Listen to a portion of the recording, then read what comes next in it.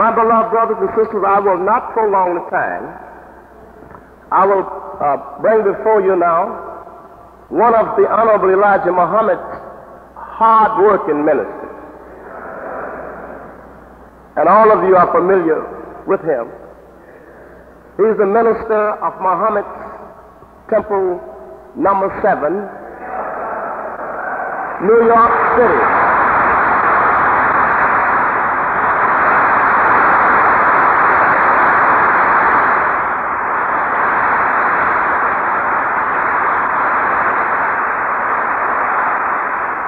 and he is also the national representative of our divine leader and teacher, Brother Minister Louis Farrakhan.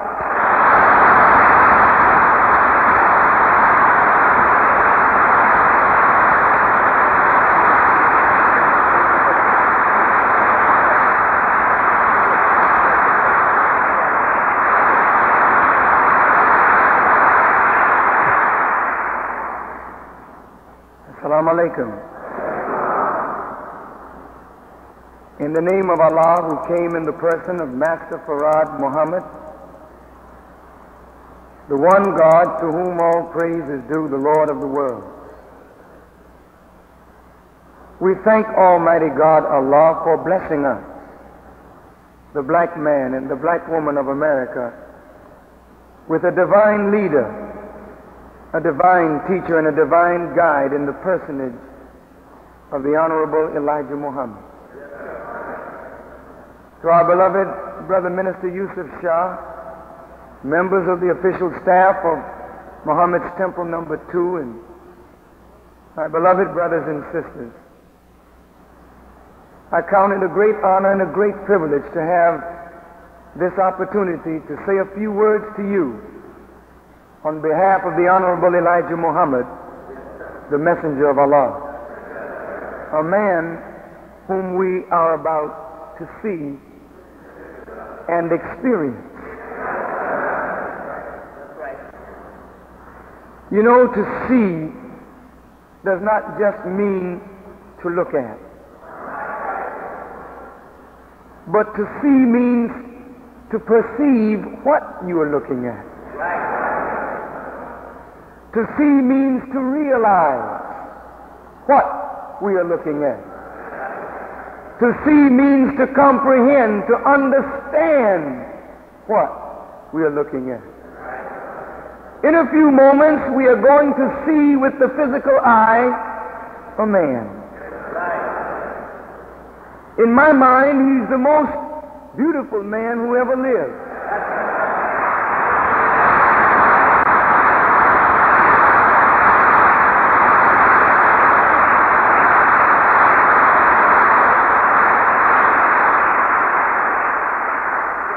You may ask, why would you say that a man that we are about to see is the most beautiful man that has ever lived?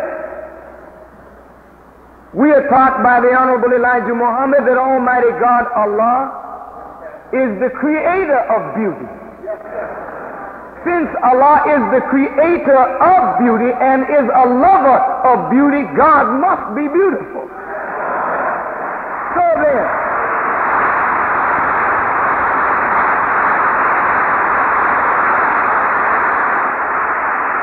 if God raises up a man as a messenger for you and me, not a man like the other apostles and prophets of God, for those men saw God in a dream or a vision or heard his voice in their ears. But this man is the one of whom it is written, Behold, I send my messenger before my face. A man prepared by God and sent by God from the face of God. Not a man like men in the past, but a unique man. An incomparable man. A man that there is no thing in the heavens or the earth that you can compare this man with or to, for this man.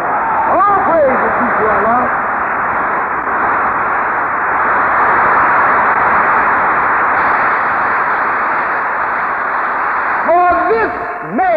Is created for the glory of God. And upon him has the glory of God risen, according to Scripture. So since he's from God, a messenger of God, styled in Scripture as the Son of God. Now you must remember that the Son is not the image, for an image is not made of the same essence of that which it is the image of. Oh, praise the future Allah.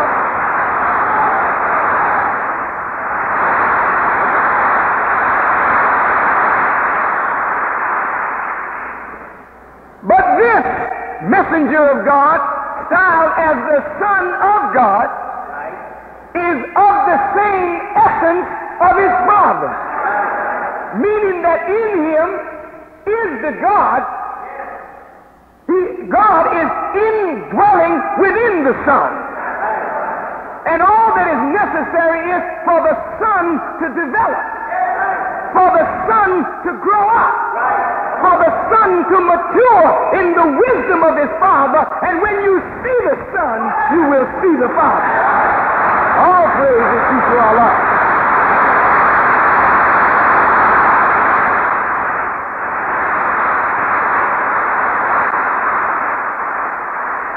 Since Allah is beautiful, how could a son of God be other than beautiful? A son of God reflects God.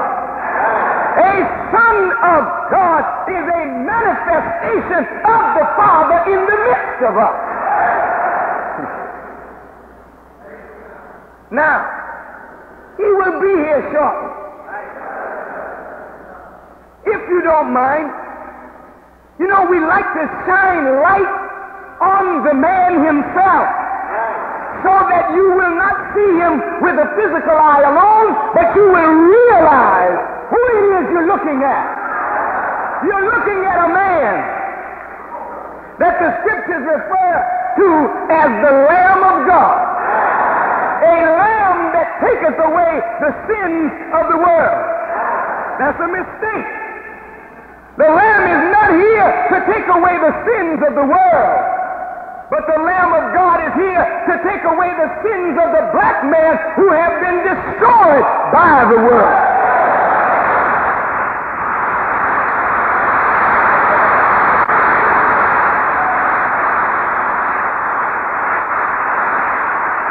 And we saw their garments, their garments were washed white in the blood of the Lamb.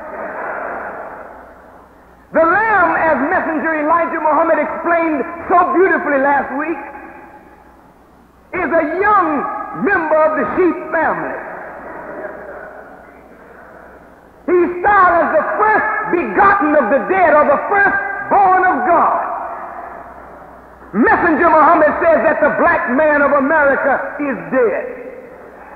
And none of us can deny that fact man is as a dead man. He has eyes, but he cannot see. He has ears, but he cannot hear. He has a tongue, but he cannot speak. He has legs, but they don't walk in the direction of self.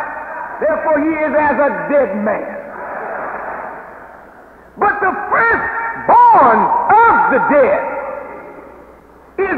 first man who recognized God who would visit among the dead and raise one up from the dead. Yes, many saw Master Fard Muhammad,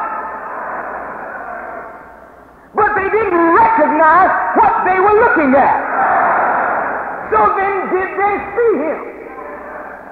No, we declare to you this afternoon that no man saw God but he who recognized him, and that one you're about to see in a few minutes. And that is the Honorable Elijah Muhammad.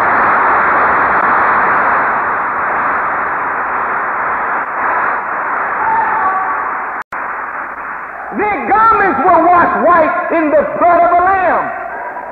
The messenger of Allah is like a lamb. He's meek and humble. But he's also styled as a lion too. So we cannot mistake him as a lamb and make a mistake in dealing with him lest we get caught up by the paw of a lion. But the book says their garments were washed white in the blood of a lamb. How can you wash a garment white in red blood? But the Honorable Elijah Muhammad, a man whom God has raised up to interpret for us the wisdom of the Bible and Holy Quran, has made it clear sunshine for us. As blood is the life fluid of any living creature, the blood of the Lamb is the life of the messenger lived according to the spirit and will and revelation of God to him. Here's a people dirty by the world. You can't deny the fact that we have been made dirty and filthy by the white man's world. You and I have been dipped in the mud of the white man's civilization.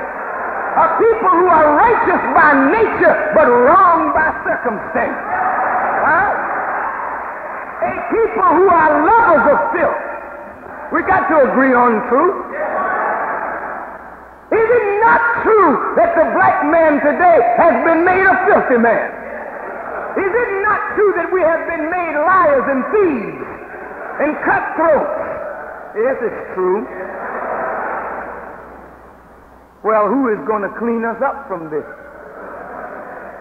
The man that is about to come into this great and holy temple is the man who has washed our garments white in the life that he taught us how to live. You can't deny that a Muslim is trying to live a clean life. Some of us may be your sons or your daughters or your friends, and you knew us when we were worshipers of a blue-eyed enemy devil. And you see us now that we've come to follow the Honorable Elijah Muhammad. And you have to bear witness that Elijah Muhammad's life and the spirit in him is what has caused us to clean ourselves up. He's a mighty man, a lamb. But out of his mouth, the book says, went a two-edged sword. That's something to think about. This last messenger would not rely on the carnal weapons of the enemy. You may run out and say, pick up a gun. You may run out and say, pick up a knife. But Elijah Muhammad has been given a sword in his mouth, a two-edged sword, a sword of justice that cuts both nations, black and white. A sword of truth that is so powerful. The book says it separates the spirit from the flesh and even the marrow from the bone. Oh, that's a powerful truth. A truth so powerful that the book says it would root out kingdoms, tear down nations, and build up. Here's a truth now that's going to root out, tear down, and build up. Now that's a powerful truth. What kind of man would it have to be to speak that kind of truth? Every man can't speak truth. It takes a certain kind of man to speak that kind of truth. You all all right? That's all right. A lot of men know truth, but fear chokes them up, and they won't speak what they know. Why won't you speak the truth? You're afraid. I'm afraid I may get punished. I'm afraid that this may happen to me. Well, you are not worthy of the truth. In fact, you are not worthy of life. If the truth is that upon which the heavens and the earth is created and established and maintained, what kind of man is it who is afraid to speak the truth? Some of you are not even afraid to speak it, you're afraid to hear it. Oh, that's terrible.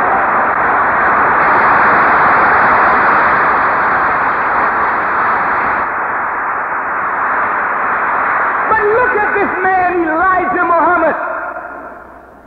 I boast in that man. I boast in the messenger of God. He's a magnificent man.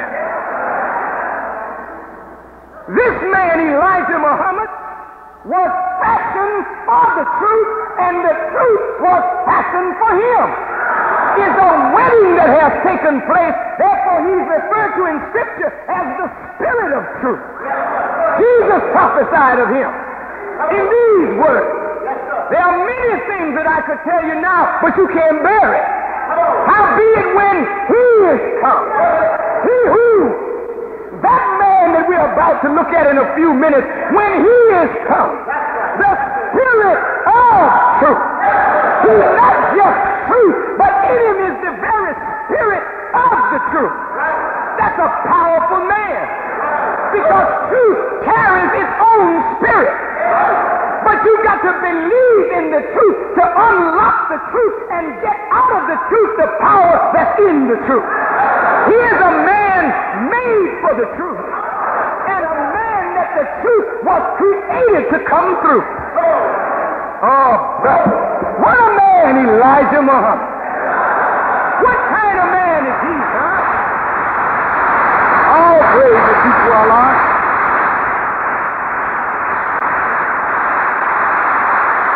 Think of the word going to come out of this man's mouth. A word that will tear down nations. If his word is going to tear down nations and his word is truth, what were the nations built upon? The nations had to be established under falsehood in order for truth to tear down a nation. If, if truth is going to tear down nations, then there are going to be a lot of people angry at this man when he opens up his mouth to speak. But if that man is a man of God, he doesn't care who gets angry with him.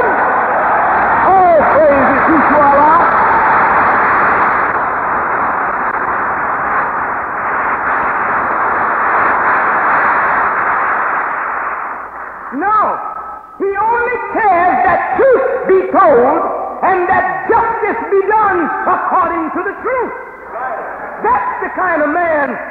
To see. A man who has stood up in America, a beast den. And you know that the white man is a beast. You know that his actions in dealing with the black man are the actions of a beast in dealing with his prey. You know the white man is an evil man. Yes, you do. You know he's a wicked man. You know that his government was founded on evil and established under falsehood. But what man would dare speak the truth against this evil enemy devil? It takes a mighty man to do it. You'll see him in a few minutes. A mighty man who has absolutely pulled up the curtain of falsehood that we could see the white man as he is. Muhammad told us 40 years ago that God to him that the white race is a race of devils. Many of you said Muhammad teaches hate. He's an evil man. But God raised him up to open your eyes to that white man that's been giving you hell all the days of your life, and he has been faithful to that truth.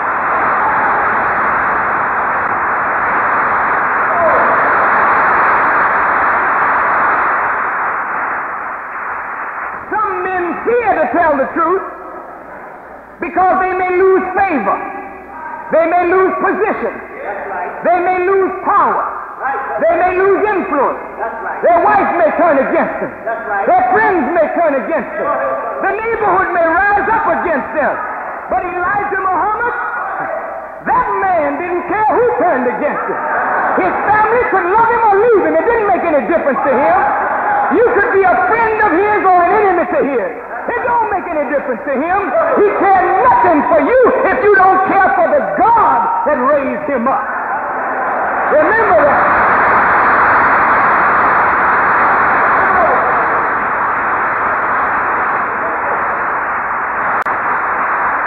He's an honorable man. He's a courageous man. He's a fearless man. He's a brave man. He's a wise man. He's a humble man. He's the messenger of God. He's tearing up the kingdoms of the world. The white man's government is confused. England is confused. France is confused. The Buddhist countries are confused. The Islamic governments are confused. And literally Elijah, that man that the book calls the Spirit of Truth, he stands alone. Alone, him and his God. He said that Allah, whom the whole Muslim world of near 600 million worshipped as a spook, he said, You got it wrong. Allah is a man, and he stood back. And he wants you who believe in a Father, a Son, and a Holy Ghost, he condemned your Trinity of God. And he takes on the whole Christian world and he stands back. You who believe in Buddhist or Hindu, he condemns your gods and your religion. You who think you are wise, he condemns your wisdom as though it is nothing, and he alone stands with a God backing him up. And he's a winner. He's a winner. This is the kind of man we're about to see. A messenger of God. You know he's a dangerous man. I love to tell you this because he's in your midst. And sometimes when a man is in your midst all the time, you may take him for common.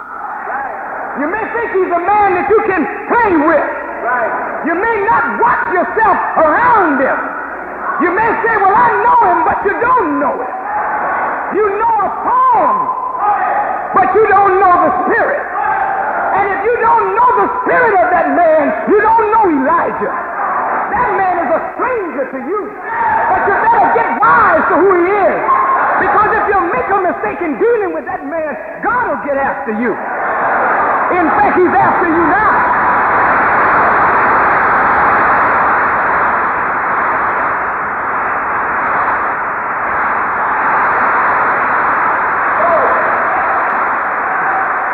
God is not common. Therefore, his messenger is not common. oh, no, brother. In the book of Isaiah, the eighth chapter talks about it. Yes, It speaks of the messenger saying, He is a sanctuary. But for some, He's a stone of stumbling and a rock of offense for both the houses of Israel, and a gin and a snare for the inhabitants of Jerusalem. That's you. That's you. That's right. Come on. Let's go. I don't, I tell you, when I have to tell the truth because I'm his follower. And if I'm going to follow him, I don't care nothing about what you like or what you dislike.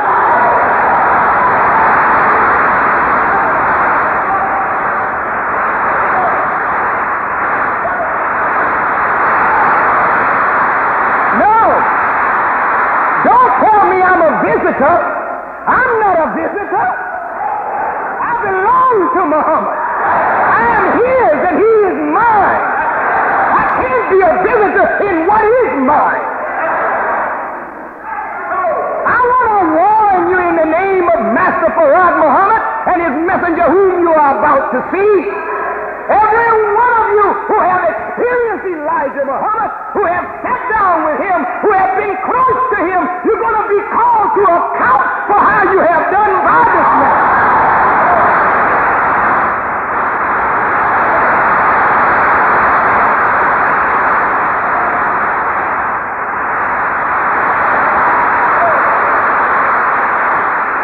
Sometimes I feel sorry for you because the chastisement of Allah upon a people who receive a messenger and then treat the messenger disrespectfully yes, sir. is severe. That's right. Hmm. That's right. He's not a man that you could take lightly, though he's meek and he's humble. Hmm? He's the most humble of men in public. He's a modest man. But he knows his weight. He weighs with the weight of God. Therefore, the book says, if he fall on you, you'll be ground to powder. And since he knows his weight, he tries to warn you as you get close. Don't stumble over me and don't make me angry enough to fall on you. Yes, he's a sanctuary. I watch how people go to church, and when they get near the altar, the holiest of holy places, they tighten up.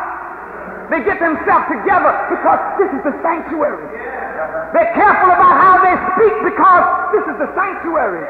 They're careful about how they talk and about how they walk because this is the sanctuary. But the book is not talking about a sanctuary of stone and marble. Book is talking about a sanctuary, a man in whom God lives.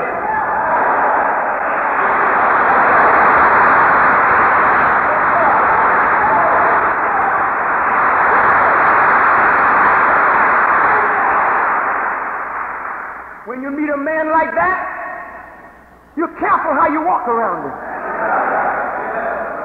You should be. You shouldn't act as the foolish. They don't know, therefore God may forgive them because they're ignorant. But what about you who say you know? What about you who say you see? What about you who say you understand? How are you walking around that sanctuary? The book says, for some he's a sanctuary. We take him as a sanctuary because we believe in him. I believe he's the messenger of God. In fact, I know he's the messenger of God. That's right. I couldn't help but know it. That's right. Here's a man that took me from nothing. Yes, sir.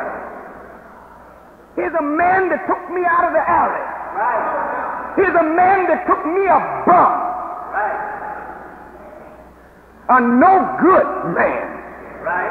And that man breathed into me of the inspiration of the God that raised him up.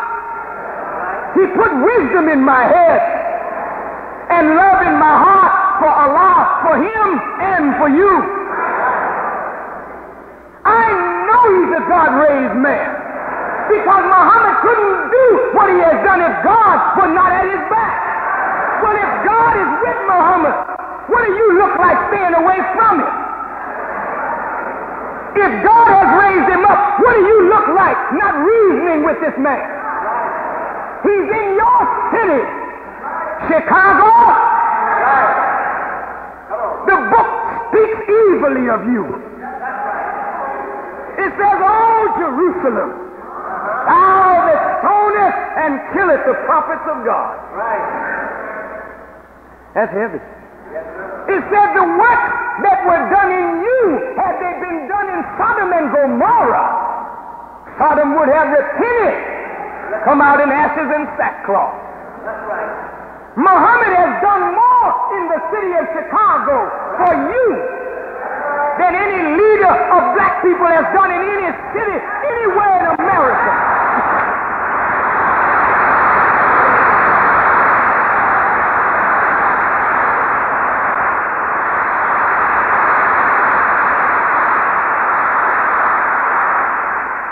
But for those of you who disbelieve in him, and those of you who mistreat him, he's a stone of stumbling.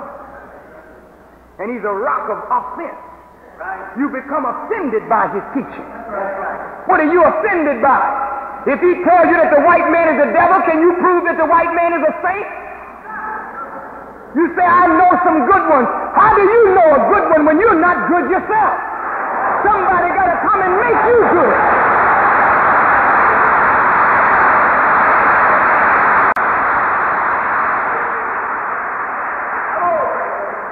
I can't help it. I love this man. And I grieve over my leader. I cry over my leader. Right. Because God has never had a man that he gave the job to that this man was given by Allah. And it's a shame that with a city full of people and a country full of people that we won't rise up and help this messenger of God. But we sit around and wait for him to work and we eat off of what he works. Instead of laboring with him and for him for the resurrection of the dead. Yes, you may be angry, but I'm happy to tell you the truth. Whether you like that truth or not, this is God's messenger. And I warn you that every one of us will pay and pay a dear price. My brothers and sisters, the book said he's a stone of stumbling and a rock of, of offense for both houses of Israel. Muhammad teaches us that Israel represents the white race. This man, Elijah Muhammad, is a stumbling stone for white folks. America is stumbling over little Elijah. As Pharaoh stumbled over Moses. Pharaoh lost his government because he didn't see his way to heed the warning in the mouth of an ex-slave. Some of you are just like your white masters, so proud over your ignorance, so lofty in your foolishness. You have your degrees, but a fool on top of it. And a fool is as a fool does. If you have a degree and have done nothing with it, if you have a degree and your people are hungry, naked, and out of doors, and your degree has not qualified you to help the black man to help himself, then your degree is a yoke around your neck that is dragging you down into the pit of hell. Black man,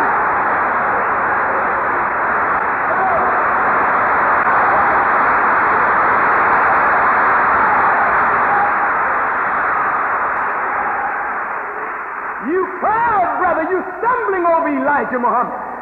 Why do you stumble over him? Because he didn't have a degree from Harvard, a degree from Yale or Radcliffe? Because he doesn't speak the language as you think he should speak it? I want to tell you that Elijah Muhammad is a master of the English language. I want to tell you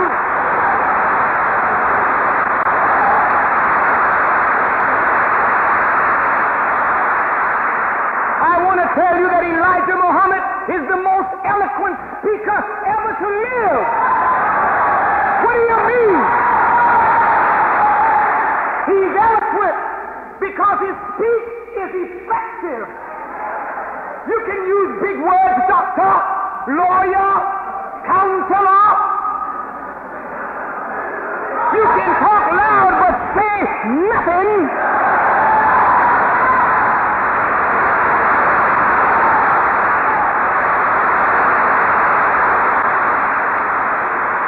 But this man, Elijah Muhammad, when he speaks, the dead are raised to life.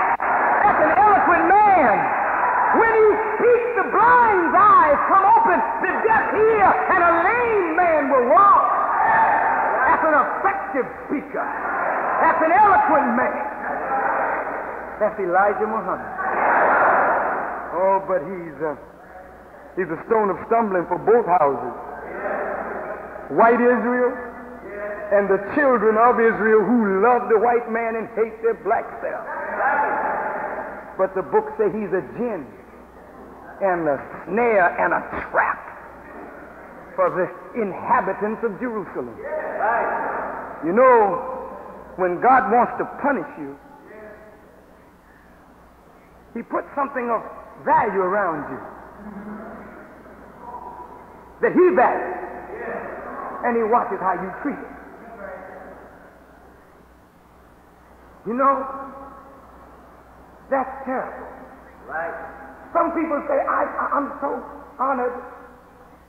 I'm close to the messenger. Right. I don't know about that. Uh-huh. That's not such a good position to be in unless you recognize who it is that you're close to. Right. See, that's a dangerous position for a blind person to be in. That's a dangerous position for a fool to be in. You don't want to get too close. Hmm. Unless you make a mistake.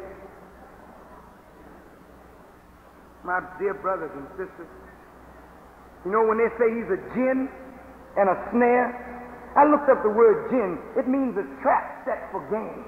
Right. Mm-hmm. The little messenger of God has been set in your midst.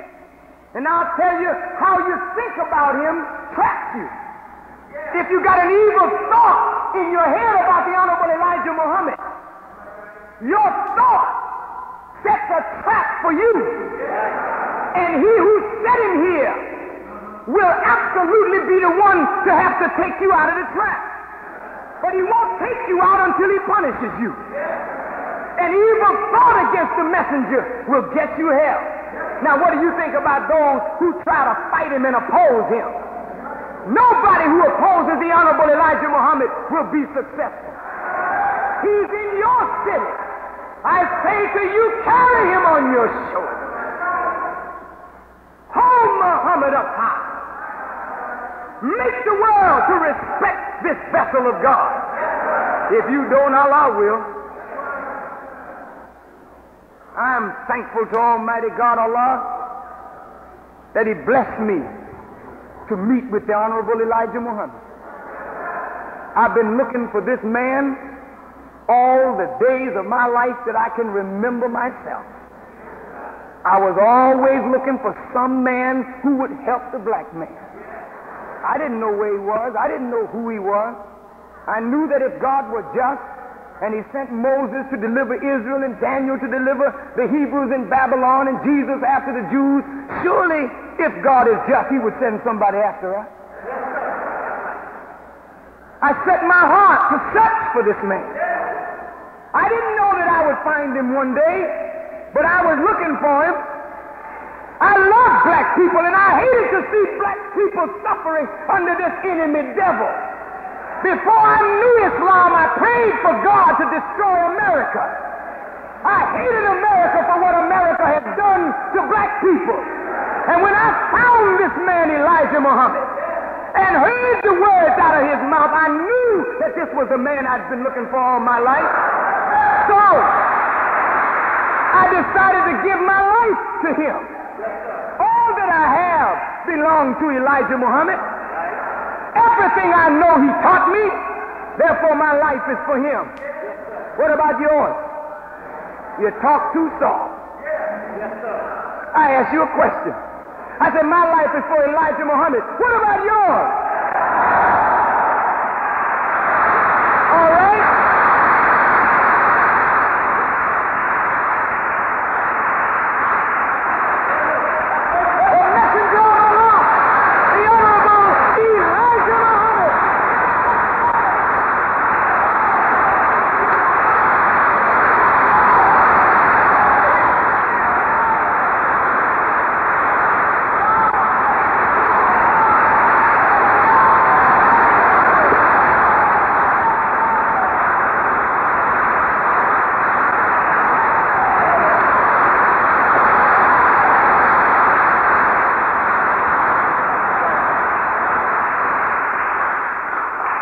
Assalamu alaikum. You may be seated.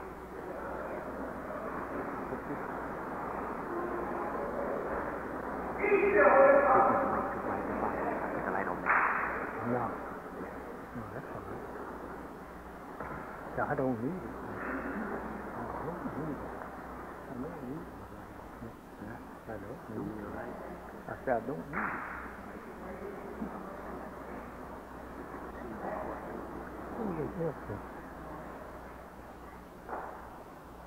No.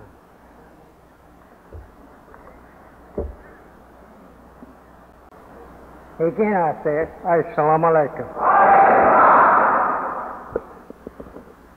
Brothers and sisters, I'm very happy to see you smiling faces. That uh, makes me feel good to see no vacancy, but a little. And I think before we are finished, it will be filled. We continue our subject, the theology of time. As this is the thing that you should know. what has been hidden from you and what is being kept hidden from you.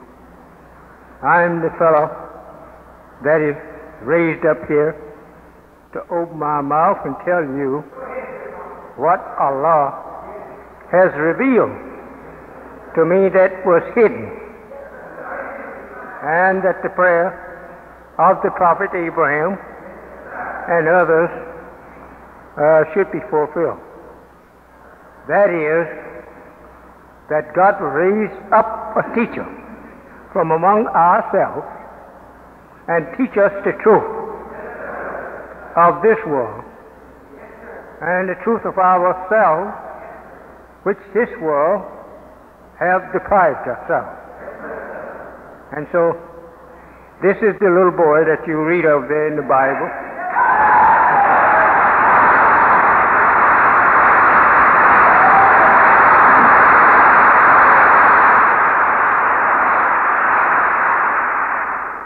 If you take note of the name Elijah in the Bible, it comes in the Old Testament and leaves out in the New Testament.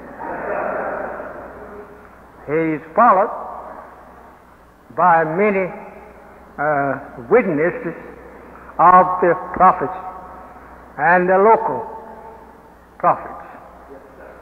Some of the local prophets don't have too much to say, but he goes directly at the point. We call them minor prophets. He don't miss nothing of what has been revealed to him. He tells it right out. I hope you are hearing me. Uh, the mic up here, you will have to tell me yourself whether you are hearing well. Because you are listening and I am speaking. And you can tell me whether my speaking is getting over to you clear enough for you to understand. We don't want you coming up telling Allah, I didn't understand him. I didn't hear him so well. Something was wrong with that mic and they should have fixed it. So I should have heard it. and I would not have been out here with the disbelievers. So we don't want you to have no excuse. In the past, we find where the messengers of God uh, had people claiming an excuse. But this messenger is to make it so plain that you can't claim it an excuse. And I watches you to see if you uh, misunderstand me. And you're welcome after I'm uh, said about all I intend to say this afternoon to ask me questions if you didn't understand.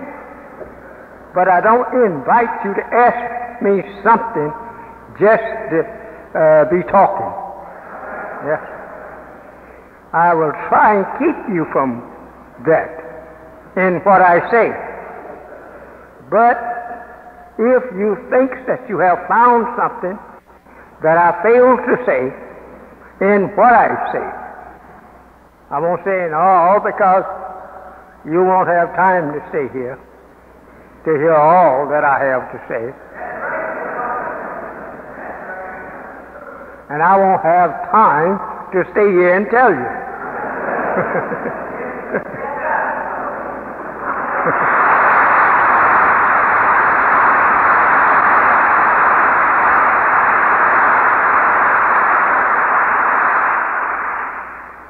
A lot of us takes it for granted that the Holy Quran is something inferior to the Bible. The only inferior part it is that it came after the Bible.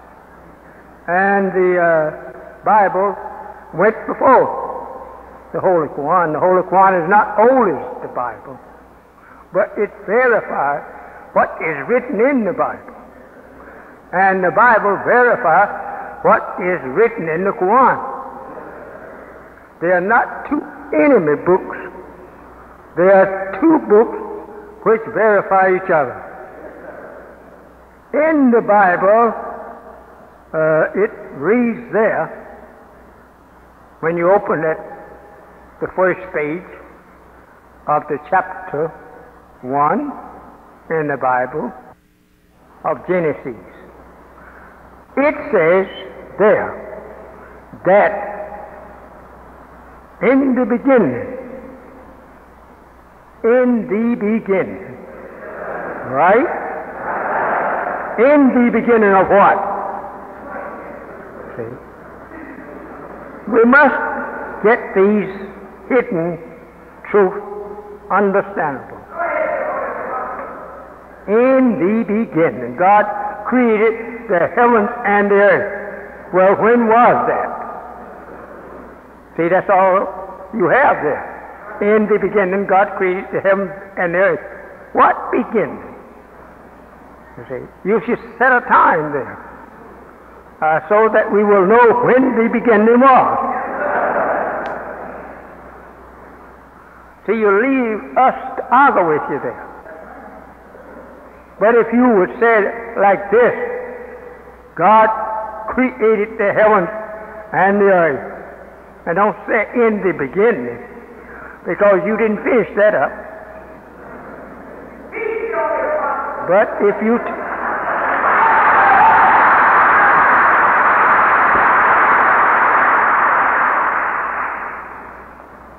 but if you had said, in the beginning, which was about so long and so long, or it was so long and so long, don't say about, because it had a beginning.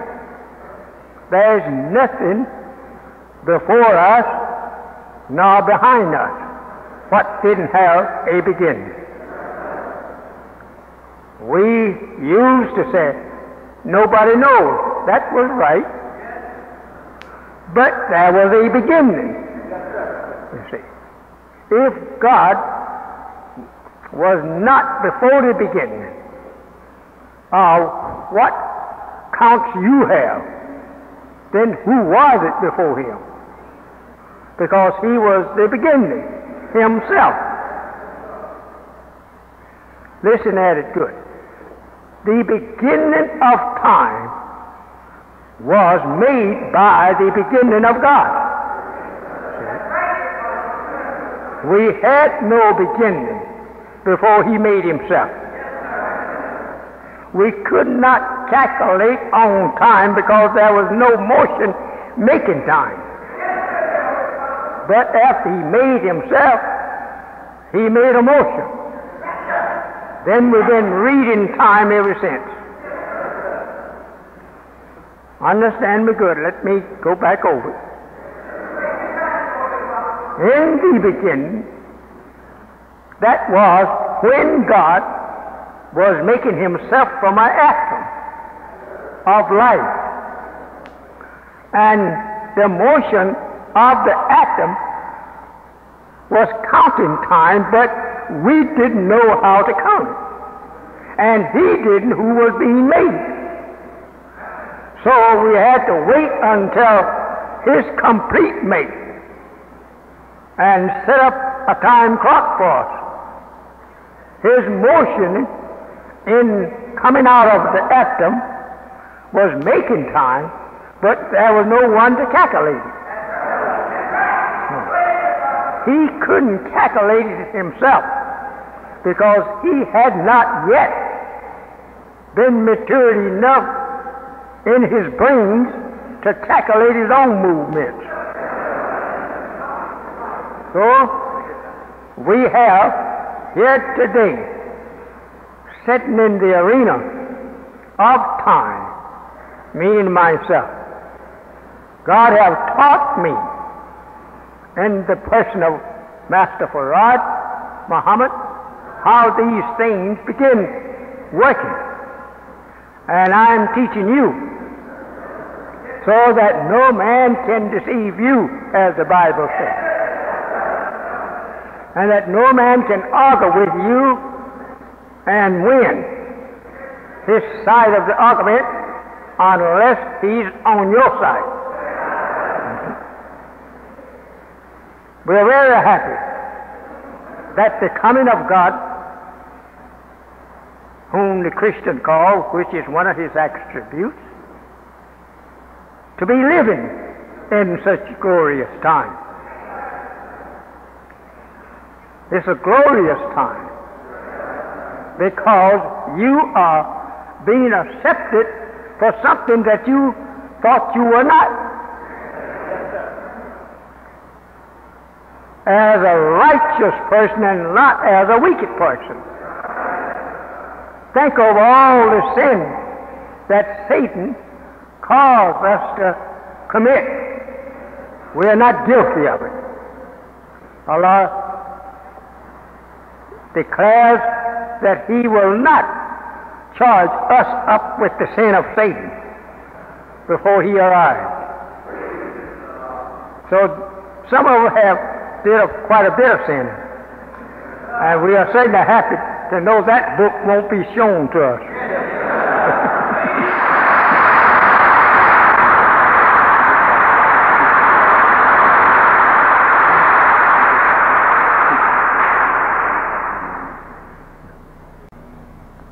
And that uh, the world that the devil has poisoned, I don't mean no spirit I mean that blue-eyed Caucasian walking out there where you can see. him.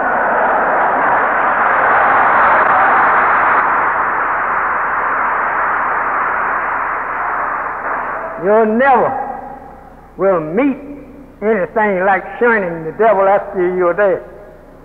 You won't meet him. No.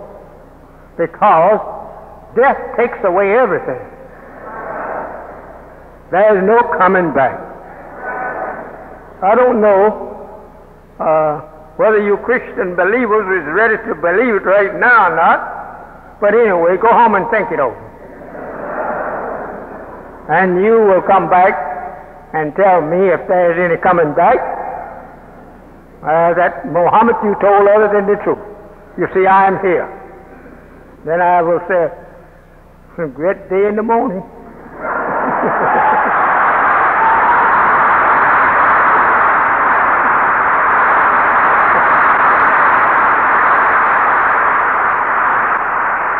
There is so many people that don't like to come and listen to Muhammad because he said there is no heaven or hell for us after we die. That when we die, that's the end of us. I said, brother, if there was an end coming back to us, there was another chance I would be a greater believer in that than you. Because that would convince me that I'm preaching wrong. I will come back. And I would like to have a chance if there's anything like coming back to come back. But if you put the cold, chilly hands of death on me now, and then wake me up and warm them up again, I would say that I wouldn't not feel like getting up. I would be afraid something else is going to happen.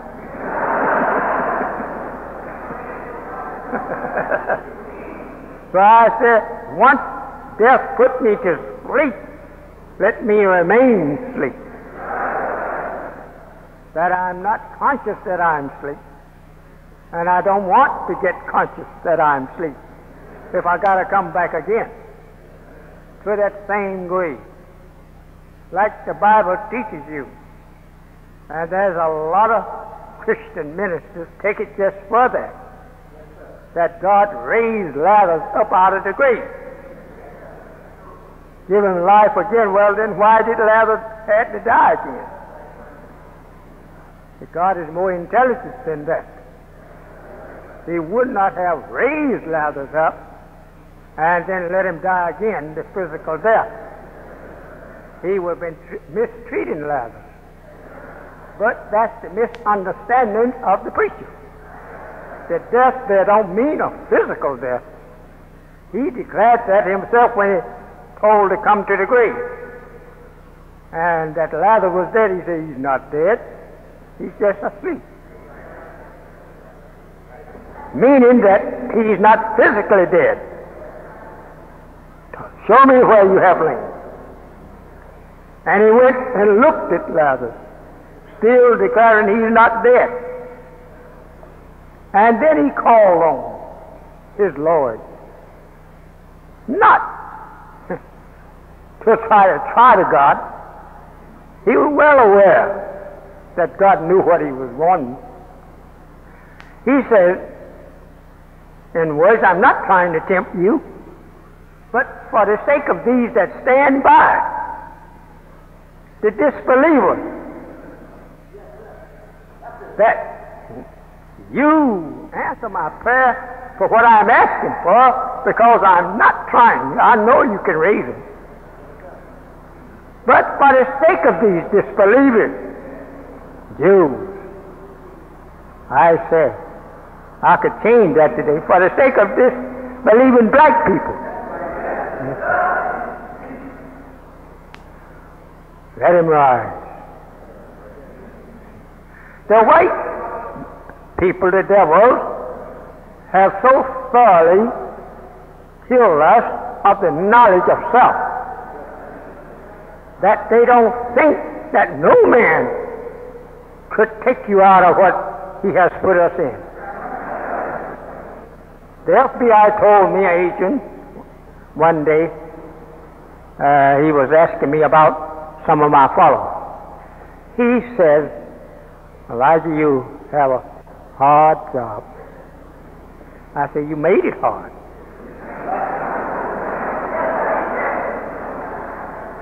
He looked at me and smiled. He said, Oh, Elijah, I was not here three or four hundred years ago. I said, But you are from those that was here three or four hundred years ago with the same mind. He laughed again. He said, You want to just accuse us anyway, like, and we wasn't here. That was our fathers. I said, Show me whether that you have changed your father's teachings to our people are not only in a more a higher way of putting a man physically or pardon me, mentally dead. I say, you know more how now to put your father work to a such high degree that the man don't know he's dead. So my beloved listeners, we are here with the truth. Whether you believe it or not, you are here. To hear it and leave it a little long. I'm not here to force you to believe, but I am here to condemn that which you believe in. That uh, you won't be able to condemn me in what I believe. Because we make it so plain. Even in the book that we read, Bible and Holy Quran, you want to make the Holy Quran something that is not worthy to be respected as the Bible. We make the Holy Quran more uh, respected because that the people that translated the Holy Quran was not liars.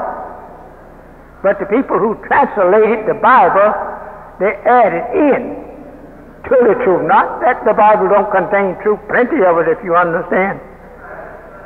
But they made it hard for you to understand by making the truth in symbolic language, and you cannot understand that which they has made symbolic. So Allah has risen up to you an interpreter of the Bible and the interpreter of the Quran. which He has given to me to rely on to teach you the truth of Islam. the religion of Christianity does not make it clear enough for you to know the truth. You will say, ah, man, go on. Yeah, I'm going on, but I'm going on with the truth to you.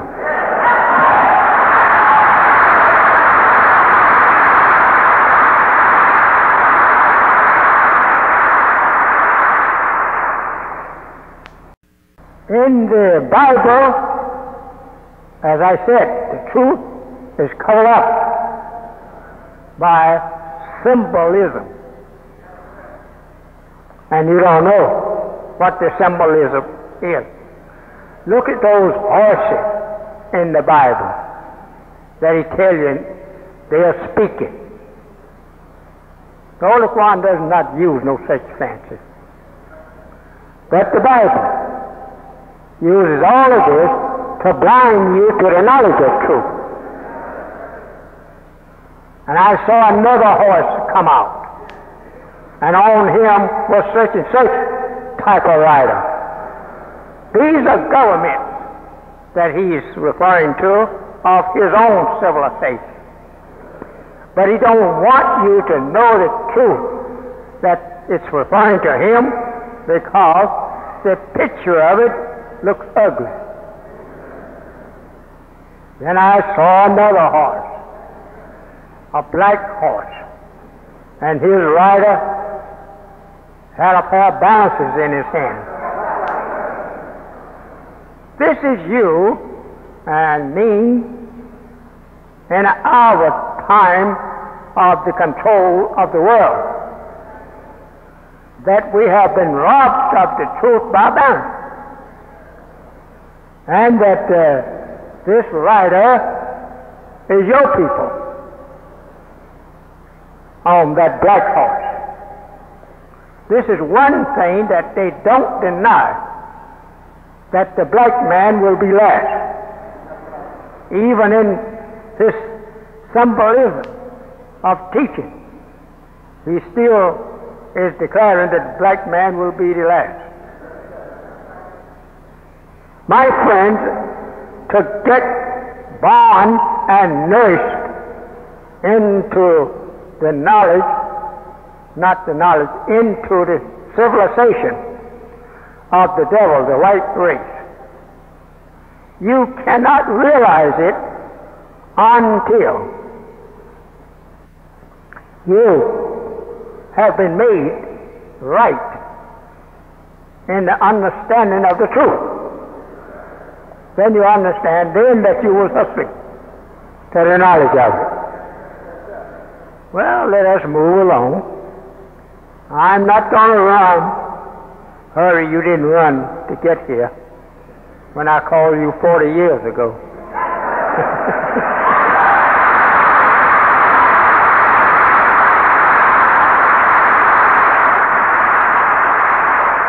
so this time, I'm going to take my time because I know what is going to take place. Allah has taught me what's going to take place in this time. Some of it I don't like to tell you. Not it won't make you feel so good. And so I want you to feel good while I'm teaching. Let us get back again at the time. If the Bible teaches you that the devil will have the power over the people to rule them until God come and destroy him. This is true. And that God prepared hell for him and the day that he was made. Think over that. Before ever the man was made, hell was prepared for him. Now, if the Bible teaches you that, Christian believers, why you want to go along with it? Since his destination is hell. But you say, I don't know when that will be. Neither do you. No one is given that hour but God Himself. And then He passes it over to that angel that you read of in the Revelation that places one foot on water and one on land. The preachers used to fancy in that. Of course, they didn't get too far from the truth. They used to say that the, he, the angel would ask God, how loud must I sound? He's making a little fancy there. I used to hear my father preach it. And he'd put fancy to it because he didn't know. But today all fancy, our fantasies is removed. And the light of the truth must shine so clear that you cannot claim there was a cloud between you and it. This is the little boy that is talking to you now. There's nobody coming behind me but God. I better tell you that.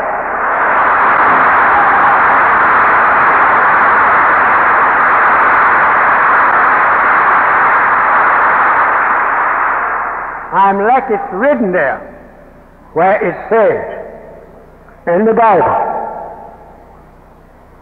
that the, for that great and dreadful day, I will send you Elijah. And he shall prepare the way. He must have enough converts to lay claim to the devil's world that God has some people in it. And we can't execute judgment on the enemy until we separate them. Separate the enemy from the righteous. So the first thing he did, he declared all of us righteous. How did he do that? Because you follow Satan and all that you do of evil, you've gotten it from Satan. So now Satan is to be destroyed, and God has come to take that which is not his and give him his own. Now, how are we going to escape? It's plain. What you was doing, you was following after him, the devil. Now God comes and declares you to be not one of the devils, that you are one of the righteous. You say, I haven't been right. No, you haven't. That which you was unrighteous in was not yours. That was the devil. His work. And you had no teacher to argue with the devil that his works that he has caused us to do was not our work by nature. Because we are not a devil by nature. So being deceived by the devil, and we didn't know who he was, we didn't have no teacher of our own to tell us to come back. Don't follow that man. He kept them away from us. When they come in the country, he kept them among himself.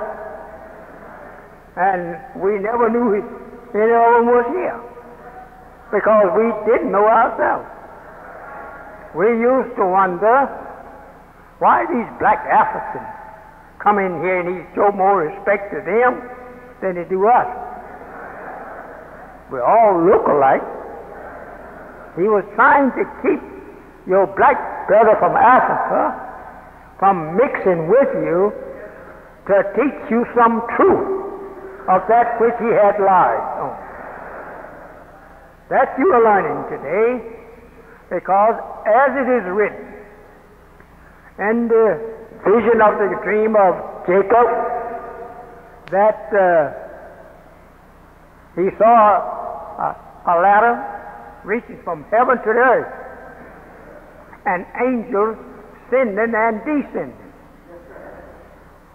Well, you didn't never understood what it was because he had put your mind so far in spooks. Something that is not a person. It's something like a air out there, and a form is out there of air in air. Well, you just didn't never understand.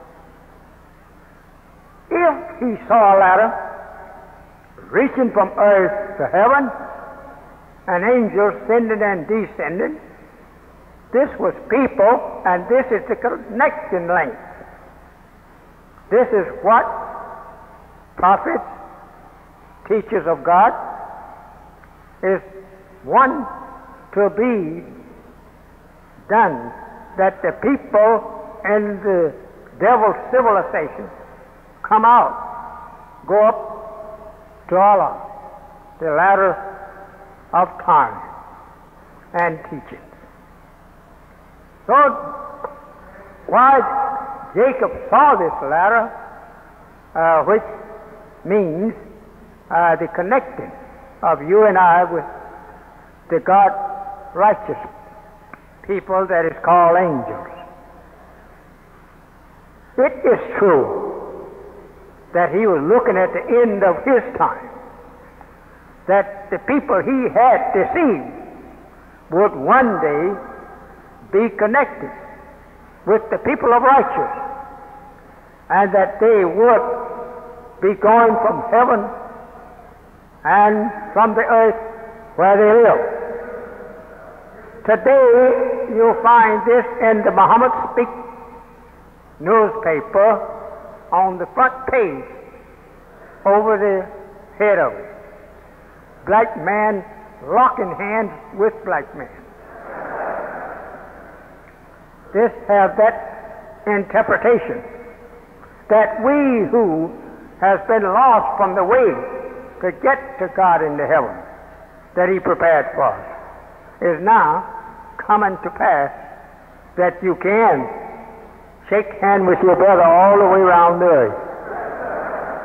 He will respect you, highly expect you if you say that I'm a follower of Elijah or believe.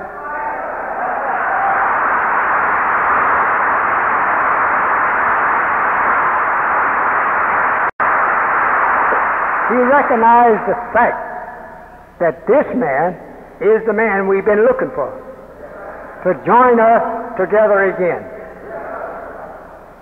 Their sanctity comes to me sometime almost weekly because they recognize what I mean. This is the day of uniting. Africa is uniting with us because, as the Holy One teaches, they heard a caller calling to the right way. Therefore, they are here among you today, plentiful, sanctity, walking around with the mouth shut, waiting for a certain time to open it. So, the time given to the white man is up and he don't deny it. He don't deny his time is not up. He preaches it himself. As in the Holy Quran, it is said there that where he tries to clear himself of misleading you, he says, I did not uh, cause them to go astray. I just called them and they come. He said, I'm not responsible. They are responsible. He goes to try to show some things he have did to try to open your eyes. But he know you are not going to open up. And uh, he couldn't tell it strong like God sent messenger because by nature he was made to hide the truth. When you go to the white man to sit down, for him to teach you the truth, he misleads you. Because the truth is against him. and the truth is his doom. So never go to him looking for no uh, truth from him. He's not made of the material. When he was made, he was made a liar and made to oppose truth and to oppose you that believe in it. Oh, yes, I'm taking my time this afternoon.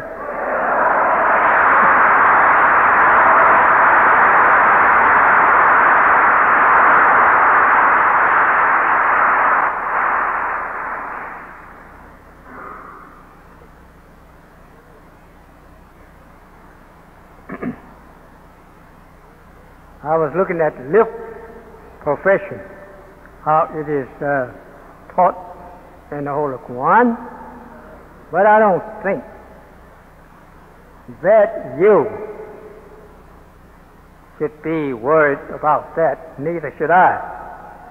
We go a little closer to the teachings of truth and hiding image. The white man hates it. The greatness of man is this subject here. In uh, chapter 2 of the Quran, under the name the cow. This is the name of the chapter because it's uh, teaching about the devil's worshiping a cow. So they took cow for their subject. Here we, we read chapter 2, 34th and 35th verse, reads like this. And when we said to the angel, Be submissive to Adam, they submitted. But Iblis did not. He refused and was proud. This is the devil, white man. And he was one of the disbelievers. Now, what is said here, he was one of the disbelievers, it means that there was just a stronger opposition and opposing uh, by us here at this time as it was in the days of Adam. And when we said, O Adam, dwell thou and thy wife in the garden, and eat from it a plenteous food. Now listen what it says here now. And approach not this tree. This tree is the devil. Lest you be of the unjust. We have already experienced this. Now, we have for many years followed the devil, and what he said was the truth. And now, for, for taking his advice, we are here now being brought up to the knowledge of the truth of this man. And that uh, next verse says, reads like this And as to those who disbelieved in the rejection of our messenger, they are the companions of the Father. And it they will abide. What fire can they divide abide in? You can't abide in a literal fire. But the fire he is referring to is the punishment of what you will get in this life for not accepting the truth. You will be unsuccessful in carrying out that which you think you have of the truth. If it is not of Allah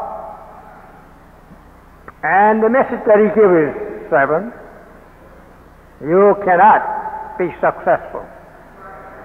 And the Holy Quran teaches us you want to know the successful one? This is the way it teaches. Those that believe in Allah and His Messenger, they are the successful ones.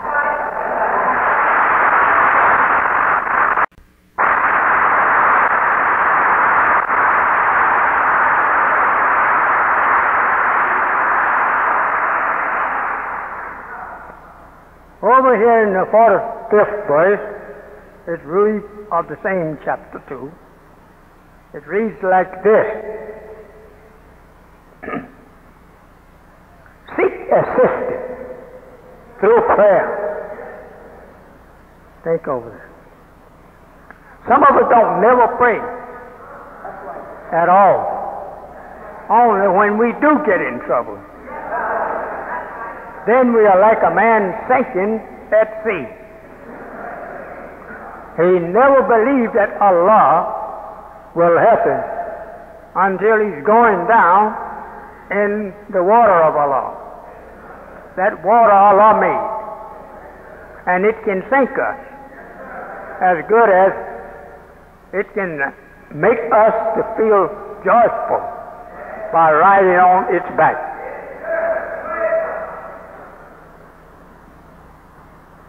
and seek, seek assistance through patience and prayer. And this is hard except for the, the humble ones because they don't pray. And when they need to pray, and their most troublesome time of life disaster, they don't know how to, how to pray. They didn't believe in Allah in the beginning. But He will call on Allah, any God, that is powerful enough to hold back the power of the water to keep it from drowning. This, the Holy Quran teaches that Pharaoh did not never pray and recognize God that he was the all wise and the most powerful one until he started sinking in the Red Sea. Lungs getting full of water. He know that was the end of him.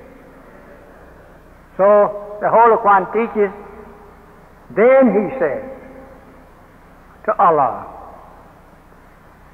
recognizing his greatness and power over him, he called on him in Arabic, Allahu Akbar, Allahu Akbar. So by admitting that Allah was the greatest, after death had taken hold of his body to take him in, Allah at that moment recognizing him to be the greatest, whom he had opposed all his life, that he now given him an over drink of water in which he was supposed to live by. His lungs all filled up now with water.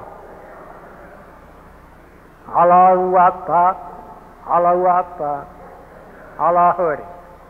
Think over that. He heard him and, and he's taken those two words, think over that, to make them live. In order to convince other disbelievers. That if you call upon Him and recognize Him to be the greatest, He will pardon you of your sins. So He pardoned Pharaoh and caused Pharaoh's to be talked about and be honored, and those who had or would have the knowledge of truth that this king opposed Adam uh, upon opposed Moses until he had no air in his lungs to continue to oppose. But by recognizing Allah as being the greatest, that was recognizing Allah to be greater than he was. So Allah forgave him, though he was dying. But he made his name to, to be remembered. This time is referring only to the white man and those who willfully, after knowing, will continue to follow. Though they had a chance, God forgive them if they would leave the devil and come to him and go back to the people because they are not guilty of the devil's sin.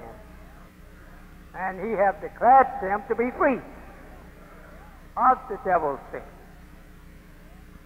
So the angel is a very beautiful uh, sight here.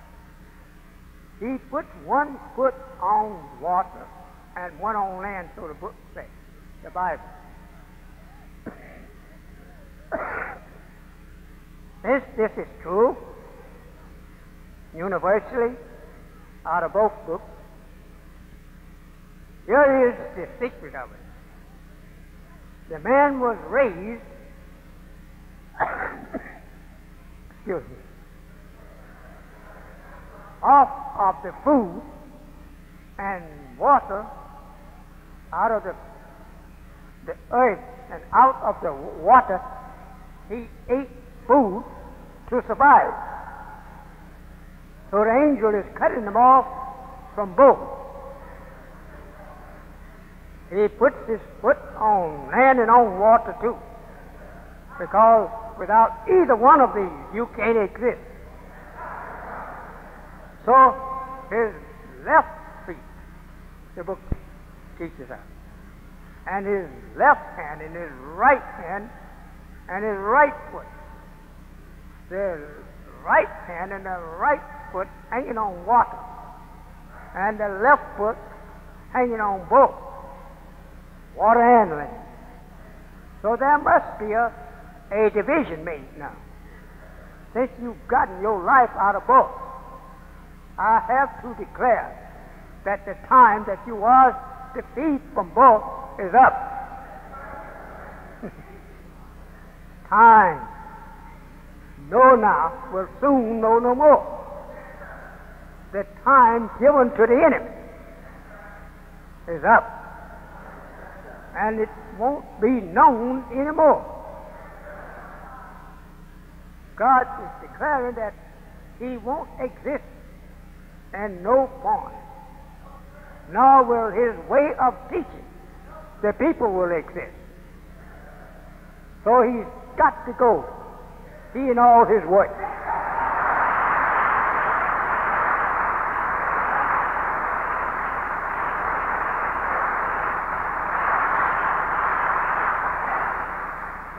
The 45th verse says, Seek assistance through patience and prayer. You need to have both. You need to say your prayer. And you need to be patient. To wait on the Lord and don't try to run ahead.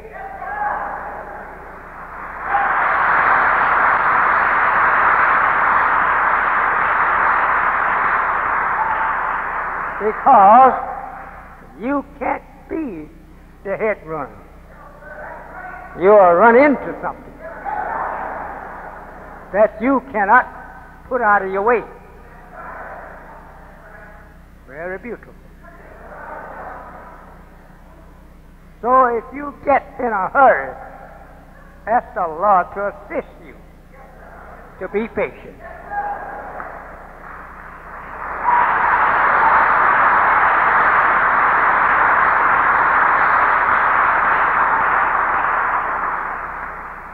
In the 46th verse of the second surah here, in uh, Arabic, they call it call a chapter surah in the Quran. We call them chapters in the English language. He says, Who know that they will meet their Lord, and that to him they will return. This is the believer, the Muslim. They know that they again will meet with their Lord, like the Bible teaches too. Because he, he came to them, they recognized him to be God. And he put the faith into their heart to continue to believe like oil is put in a burning vessel to keep light. So therefore you five wise and five foolish have a place here in this. Those who know that the bridegroom was coming, they kept their lamp burning. And those who didn't believe it, they let the oil burn out. And the noise was made. Here is the bridegroom. Go out to meet him. These were surprised because their belief had gone out. And they had no belief that he was coming back.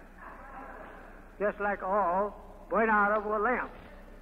And that the all have no more power to give light. So that's the way it was with half of these who started out. All had all. All had the faith. But it went away from them. As the Holy Quran refers to this kind of time of those who turn hypocrite,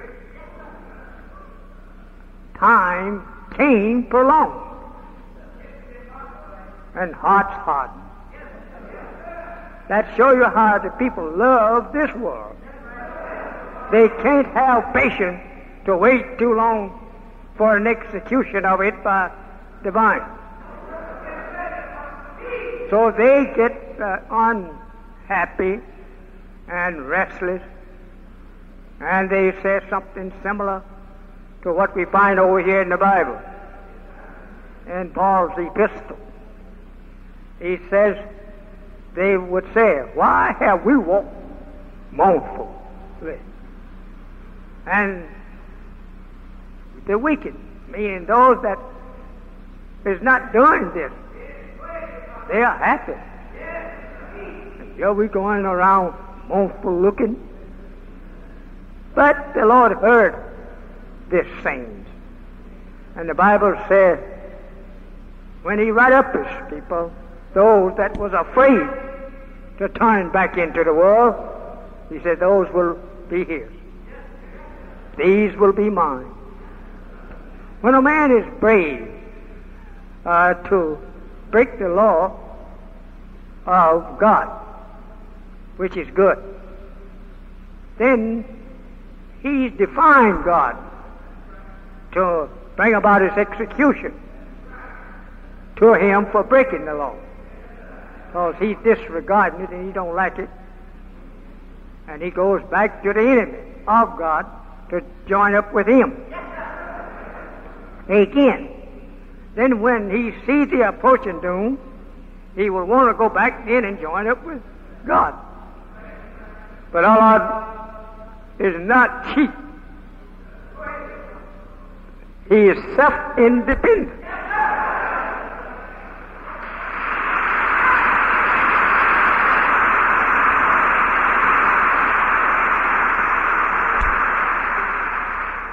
He so loved the world that he gave his only begotten Son to save the world. Wrong. God never was so foolish to give the best angel to save the wicked. This only begotten Son means he is the only one that was raised from the mental death and was prepared by God by teaching him how to teach the people to bring them back to a mental life.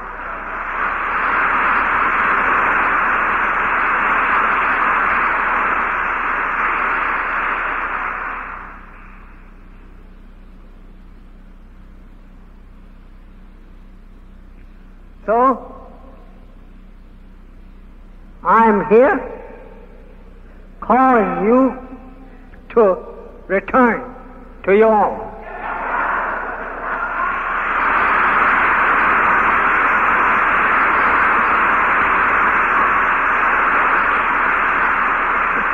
What's wrong with your own that you don't like it when you are the beginning and the end of this world? You begin this world from making it from you and me. Yakub, the father of the Caucasian race. He made the Caucasian from out of a weak germ of us.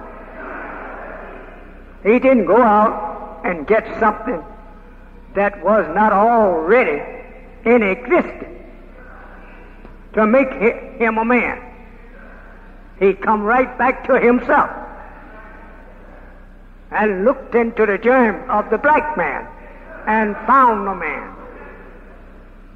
Therefore, oh, it is true that you are the first and will be the last. No man can produce another man equal to the black man without going to the black man.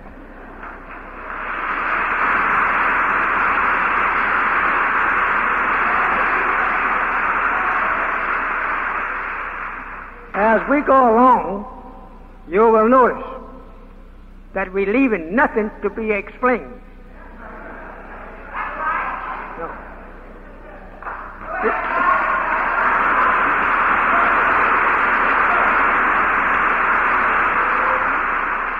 If you would ask me questions after I'm ready to dismiss myself, remember now that you don't ask the question that I have already answered. I'm not going to leave no question for you.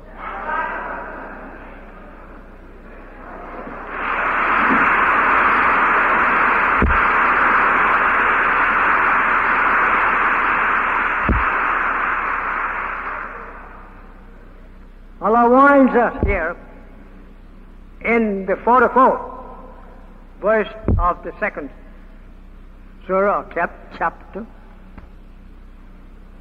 He says, Do you enjoin men to be good? Do you enjoin men to do good? Or in words he said, Do you teach other men to do good and neglect your own life? Do you enjoin men to be good and neglect your own souls while you read the book? You read the book. It teaches you to be good. Bible and Holy Quran. And then if you don't be good, while teaching others to be good, you will be the loser and they will be the winner. Because they did good, they believed in it. But you being the preacher of good and then neglect to be good yourself.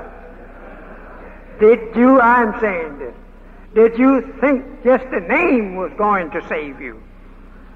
No. You, you have to be saved by works. Your work will save you. But not telling others and you not doing your own teaching yourself. Very good. He draws our attention to some acts of Israel. O children of Israel, call to mind my favor which I bestowed on you, and be faithful to your covenant with me. A covenant is agreement. I shall fulfill my covenant with you and me and me alone should you fear. There is no God to fear beyond God.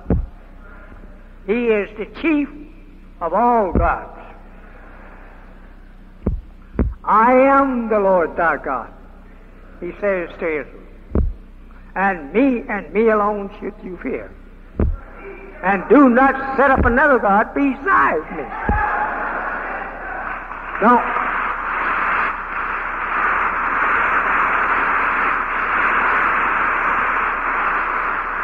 Don't try seeking another God to try and make him my equal.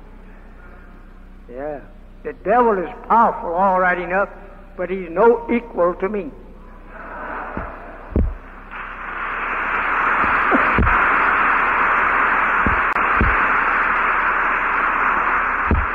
This is why Allah makes a messenger or apostle to contend with an opposer of his. He's not enough for God Himself to attack. So Allah makes an apostle to attack him and show his apostle how to win. Because he know both. He know the devil and he know his apostle. His apostle is from God himself, the beginning of man.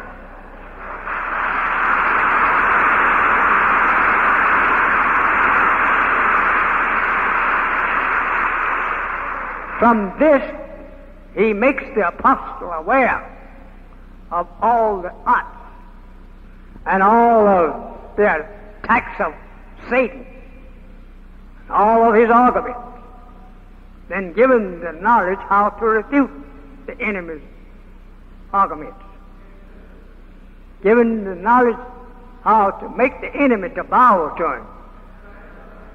This is true, as I'm here the enemy do bow to me.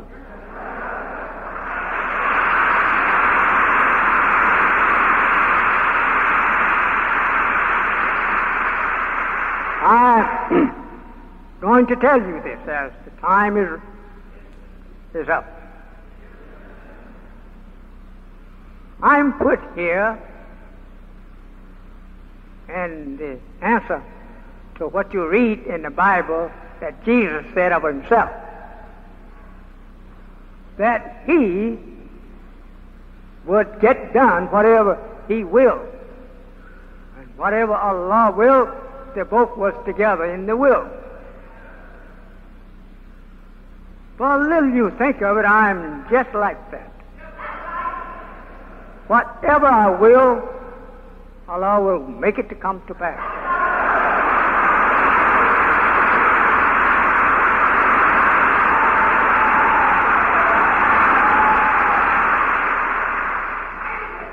Since Jesus recognized the fact that he was not that man, that prophet, that one that will come in the last day, he was not that. He had to die for his mistake. What was the mistake? The mistake was that he thought he was on time. But he learned that he was not on the time to usher in the judgment of this world. So then he prophesied and admitted that he was the head of time. He was not on time for it. So then he prophesied in his acknowledgement of his failure to come on the due time of the end of the world that he couldn't do it because it was before the time of the world. So then he prophesied. But, in words he says, when he comes, what? He is that. He said of one that Moses prophesied of. And now I see through the Moses prophesied that that man is yet to come. He will give life to the dead. And he will destroy the enemy that I am ready and hoped to destroy, that I am ahead of the time. So, in words, he was saying, keep waiting. He will be alone, whom the Father will send from himself. Ah, I guess you say you're preaching too long.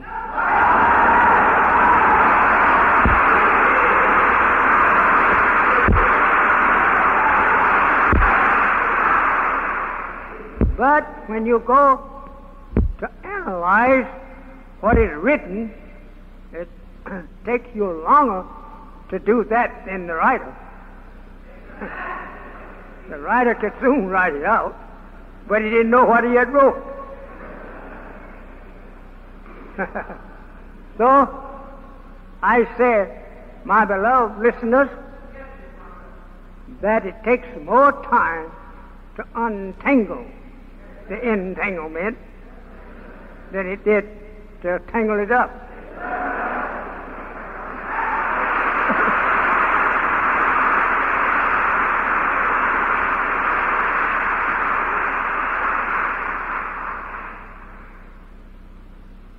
now, if this, and it is, the end of the world, you should know what the world is and what it has done contrary to the world that is coming in.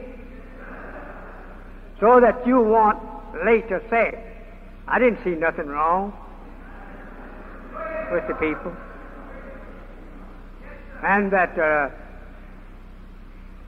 if they said they was wrong, why didn't they prove this? Why didn't they prove that? Well, we're here to prove it.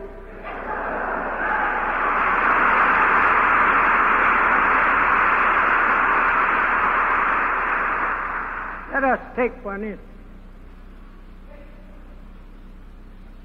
You see, pardon me, I'm all, he's getting short somewhere.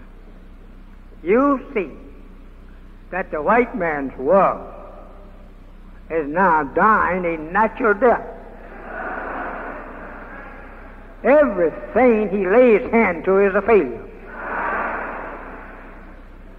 If he were ruling in righteousness according to the teachings of the prophets of old, he would be prosperous instead of being unsuccessful, even in that which he has prospered.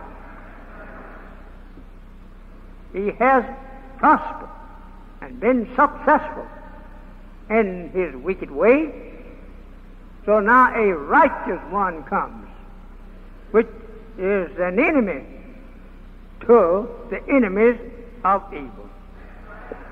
He sets up his kingdom on the very base of righteousness.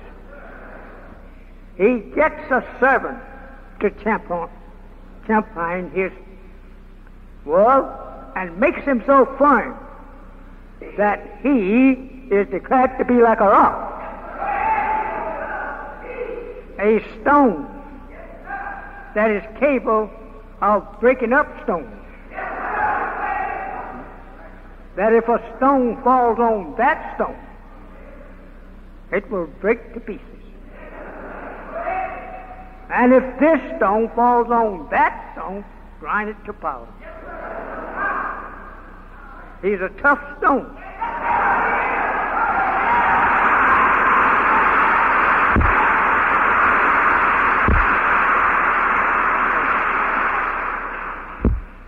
So if you have a stone that you want to build on, get one that won't crack.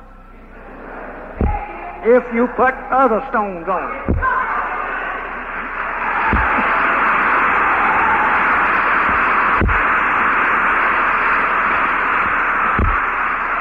So the Bible says, symbolizing the man in a stone, he said, He's a stone that is a tried stone. we don't make no mistake that it, that stone won't stand up and hold the weight. We have already tried it. And since we have tried the stone that we want to build on, we want this building to stand. So we build it on a stone that will stand.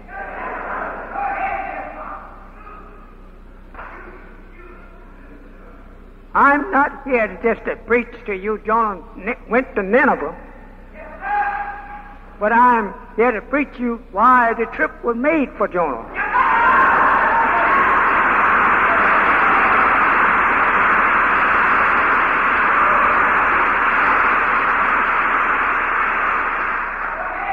I don't want you to think that I'm up here trying to show off. I'm up here doing my work that God sent me to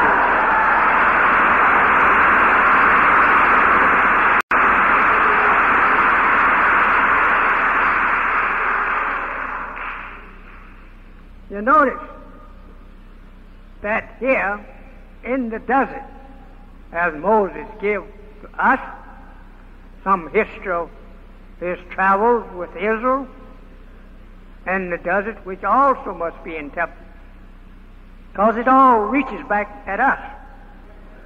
And if we don't know why he was out there in the desert doing what he did, that it is a history made to reach us here today.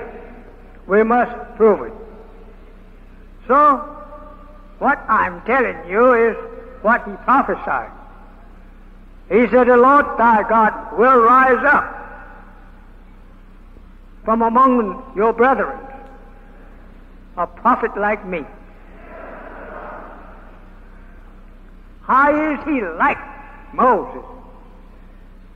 Jesus verified Moses' saying that God will send us a prophet like Moses.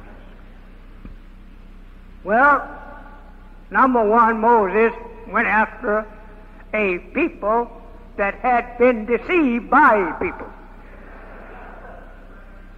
He got the hold to Pharaoh, who was an enemy to Moses and his people. And so in this history, it gives us more light on the last messenger and his work. I'm not going to preach that sermon. I'm just catching up as I go along. What you really need, it is knowledge of understanding. For misunderstanding is the hell to man.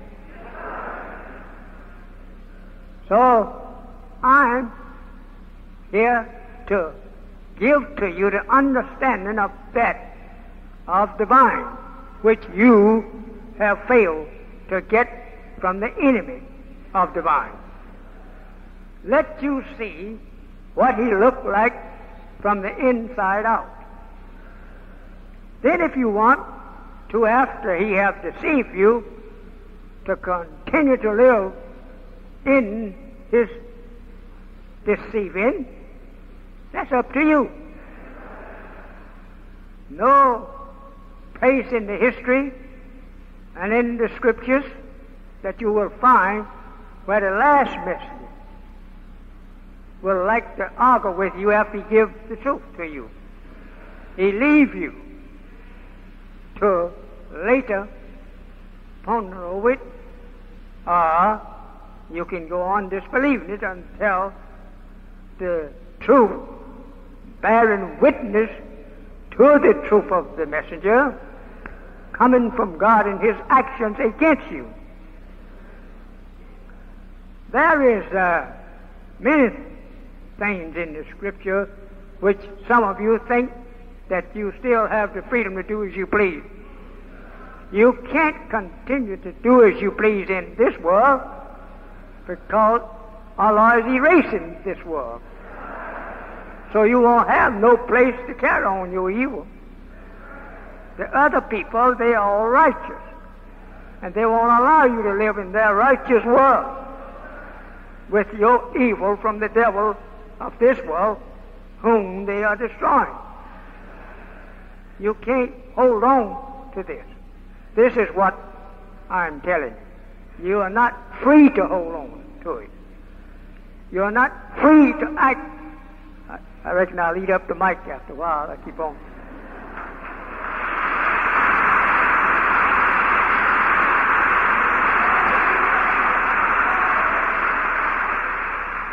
This is a free world granting you the freedom of doing like this world do. Now, the next world coming in, you won't be free to do anything you want to. You will have to do just one thing that that world uh, rules, laws, and regulations bring to us. You'll take for an instance that this devil, having the freedom to do evil and to teach us evil, he did not allow interference by prophets. He worked against them, so says the Bible. He beat and he enslaved them, imprisoned them, and then killed them because there was not one in his world. He was to rule the people by wickedness and not by righteousness. So I being, as the book teach you, the last of the prophets. He won't put that small time stuff over on me. So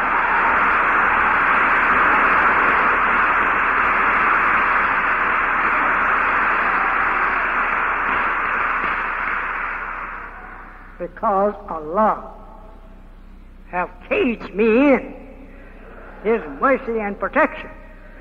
Therefore, you can't get to me no more than you can get to God. And the way of doing harm.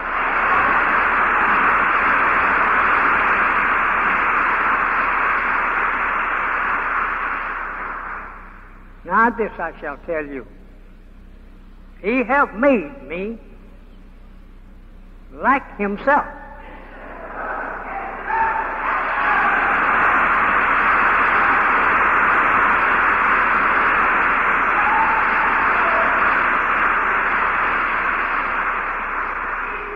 Whatever I do and whatever I want done or will, they use the word will, like he himself, it will come to pass, don't worry.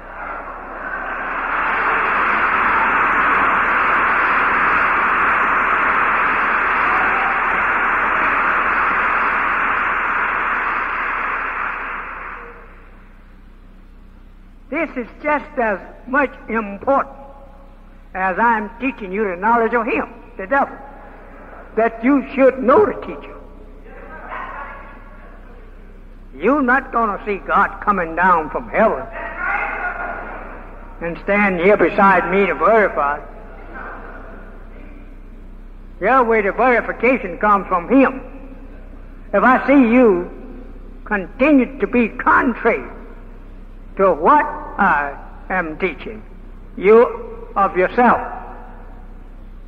and the will of God. That will is in me too. You see? And that if you fail, Allah will let my will be done on you.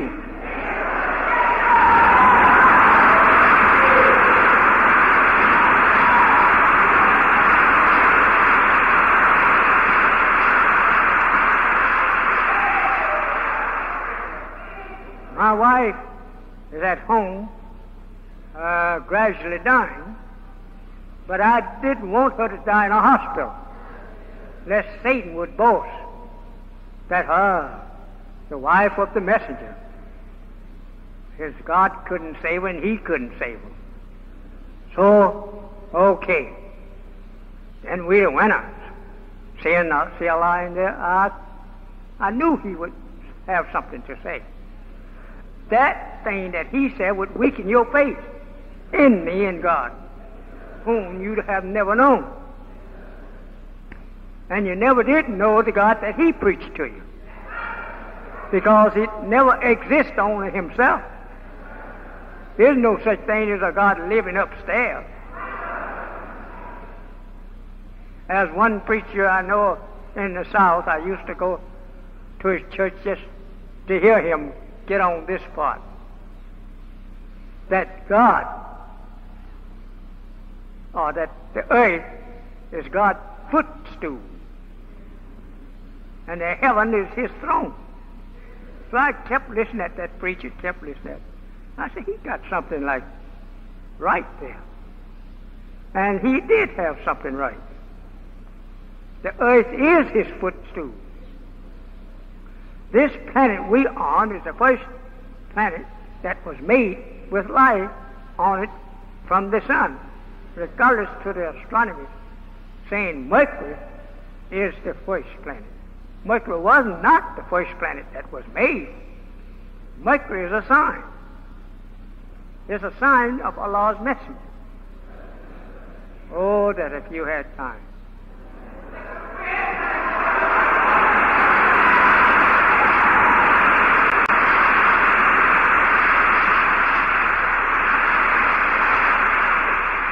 The planet Mercury is so close to the sun that uh, the astronomers think that no life could exist. There it's too hot. Suppose now that we would be drawn through the atmosphere of earth to the sun through cold that is so terrific that we couldn't live in that cold. The cold is always near and round, surrounded by a planet of light. You get where there is no such thing as a planet to mar the atmosphere with its water. You are getting into an altogether different universe to the one you come out of.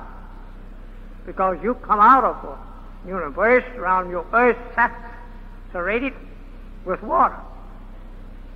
When you get into a dry space where there is no water to chill that space, you can't tell nobody what that space feels like to you since you are made of water.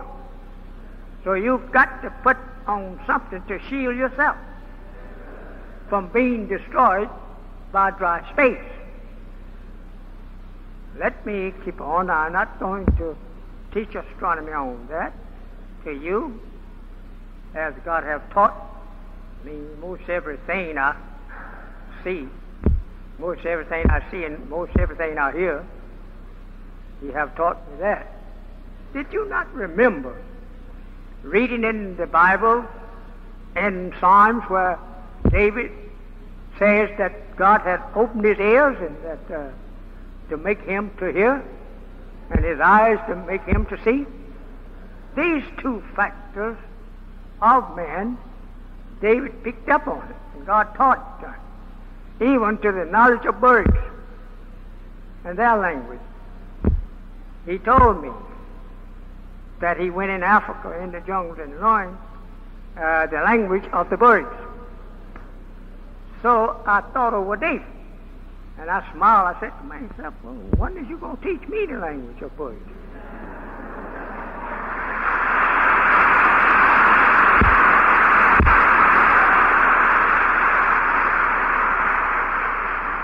Why did not he say the beast? Because that is a more finer characteristic about a bird than that is by a beast. Uh, this Revelation, he refers to this devil as a beast due to his characteristics. It's similar to a wild beast. Well, I guess uh, you think you're getting away from your subject. No, I'm teaching my subject.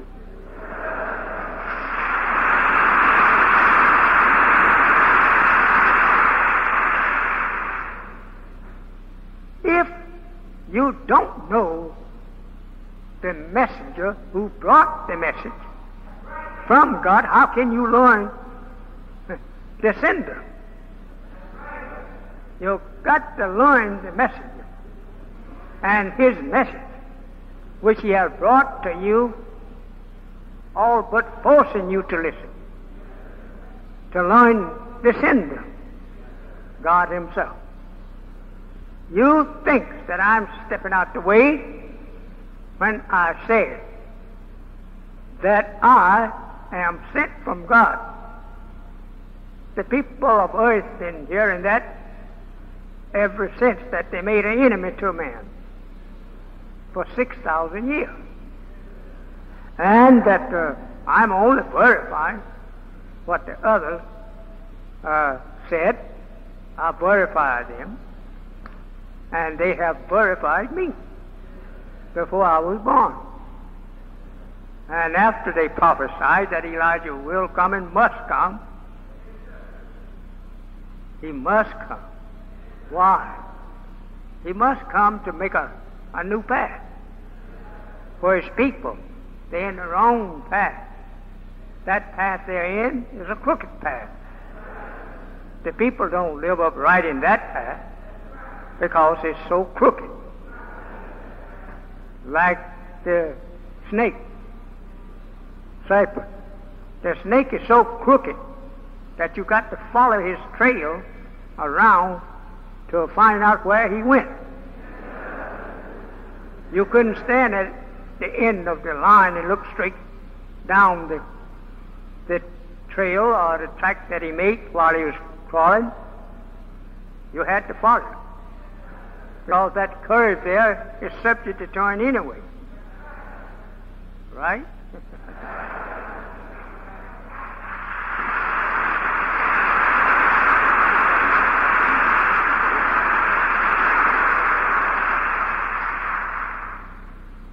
and that uh, if you don't follow the, the curves that he's making, you won't overtake him.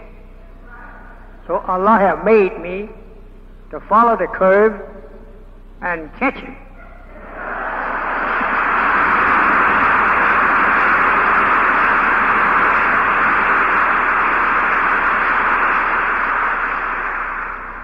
The theology of time. What time? The devil's time. Not our time. They didn't put up a clock for us. The timepiece that was given to us, it don't never run down.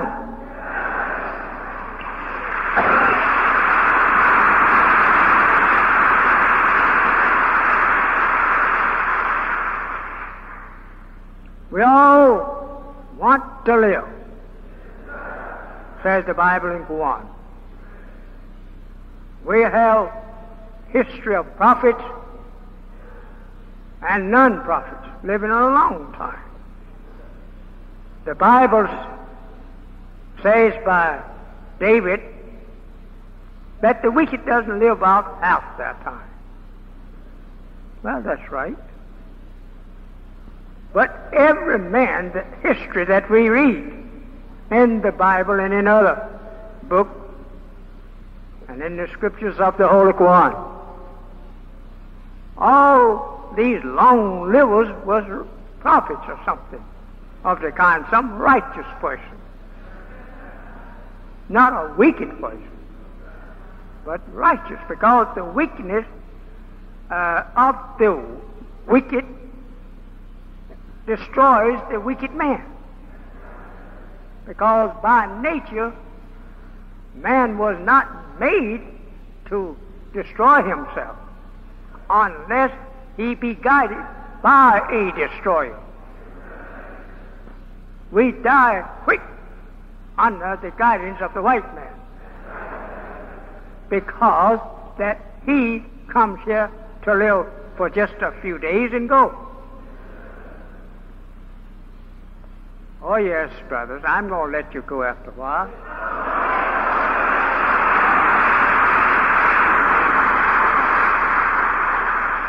boss back here says it's ten minutes after four.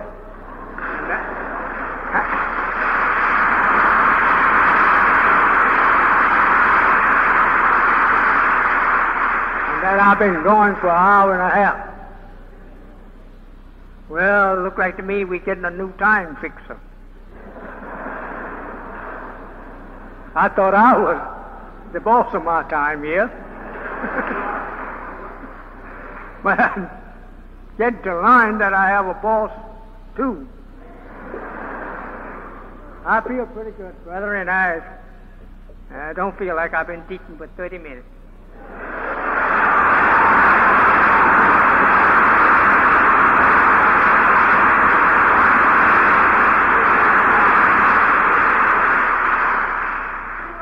I sat up and laid around my poor wife suffering with pains and whatnot. And I prayed over her. And so I don't care anything about too much sleep, no way. God didn't make me to sleep very long. He told me, he told others that was there listening at it. He said he will be like myself. He said about a couple of hours will be sufficient for him to sleep.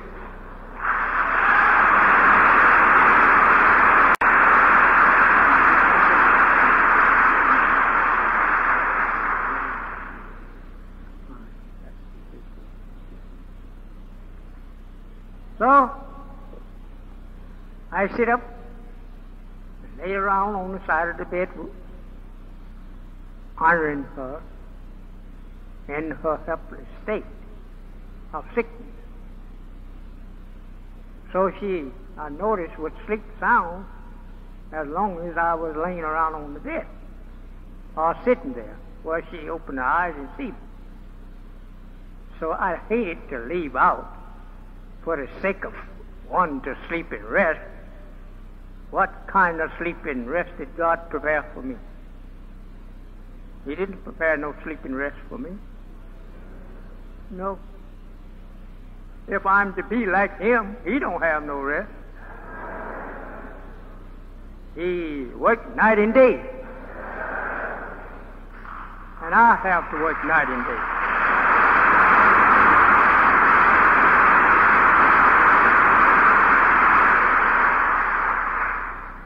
So when people get restless, you better let them go. Don't they turn to be something else? That, you'll have another job to do. Of course, I'm not talking about brother back here. He just feels for me because he thinks I'm too not too well. But he don't know.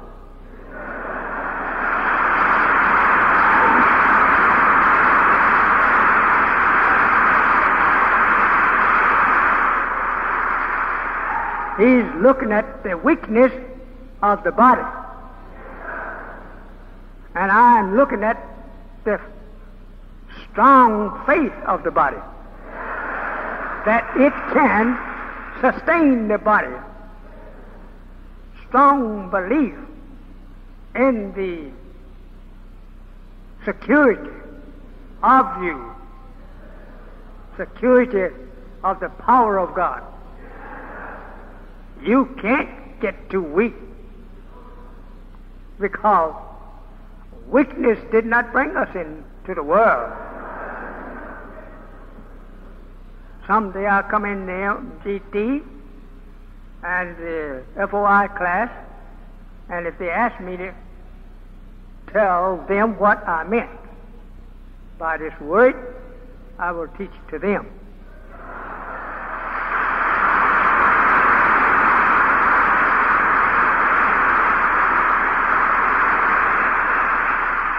But I should give you a hint here.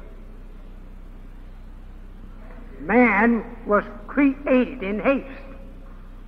Therefore, he's hasty. That is true.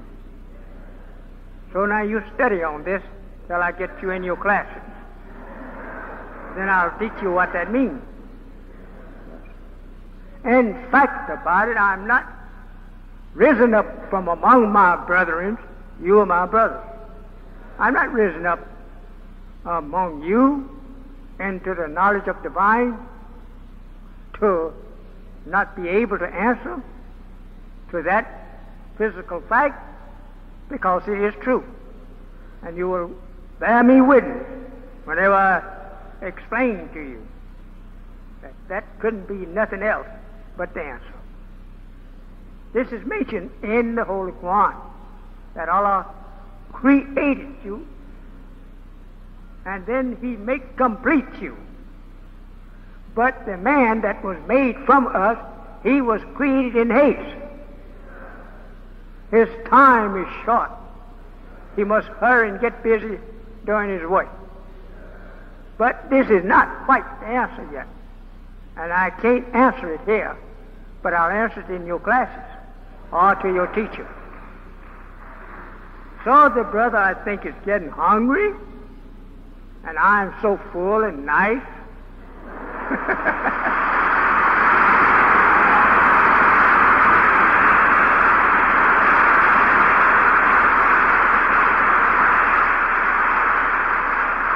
he may have a, lots of work to do, and I'm doing my work.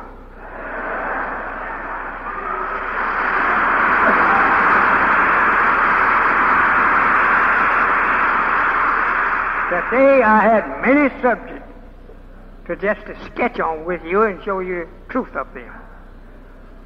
But since that uh, so many other things has popped up in front of those subjects, I didn't intend it, but just give to you the knowledge of them in a few words. So since the time the brother thinks is closing up, that I should keep standing up here is up. That I should go ahead home and uh, teach you again. I said to you, my beloved brothers and sisters,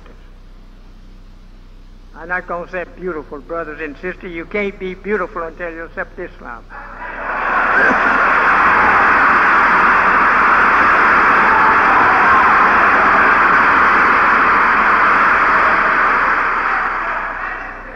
That is true. The mark of the devil will remain on you until removed by Allah in Islam. So, when you accept Islam, you start getting beautiful again.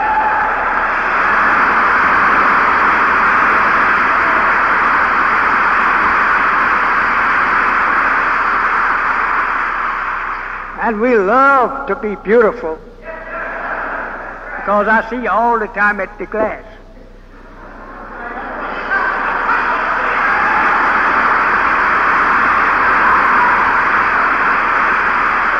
So come follow me, sisters. You will be beautiful. I have a little box sitting over here in the corner. Oh, yeah, you can after them. They in the working. They're going to be so beautiful until you are admire that shadow a mile away. Oh, yes, they get on like that. That's why they don't leave. If they wasn't getting beautiful, they'd be going. But they're in the process now. And they believe that the end will be a beautiful woman. And that's right. Allah didn't come here to make us ugly. He didn't come here to let us remain ugly. Everyone that accepts Him, He starts you to growing into a new like growth. And that growth is a beautiful person. I'm your teacher.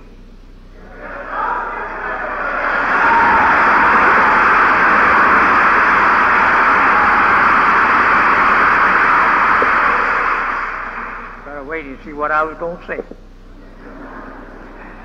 Maybe you wouldn't be clapping.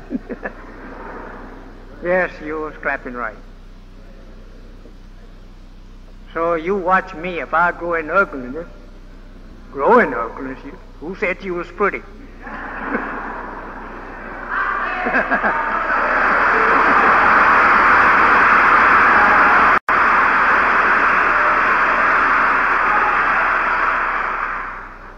but I only say this to tell you that the Holy Quran teaches us that you that turn to righteousness in this day and time at the end of the Caucasian War, Allah will make you grow into a new growth. And he told me about it when he was with me. So he said, No, brother. He said, We will have no ugly people. We will have no people with gray hair and bald headedness. He said, Brother, all our hair and all our black hair, the color will come back to us. And the Holy Quran said, This is done by Him blessing the righteous and growing into a new growth. Instead of you growing and aging up into decay, decay stops on the other side. No more decay. You, he told me, said, we will look the same as we were when we were 16 years old. And that we keep that same look, beautiful and tender, as we find in David, he wanted to wanted to God to turn him back into uh, tender age and turn him back into the energy that he had when he was in his teens. That he referred to it as a, a young goat.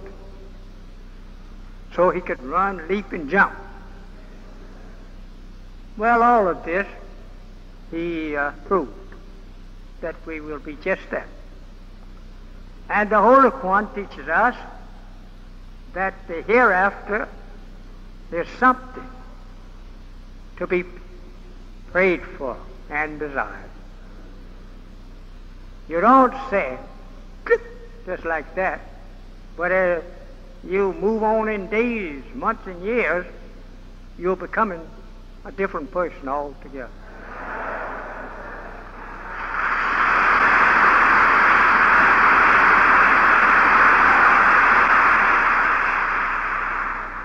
I used to, right here in Chicago, teach you six long hours. Sometime I would double it. I remember once out in Robin, Illinois, I doubled.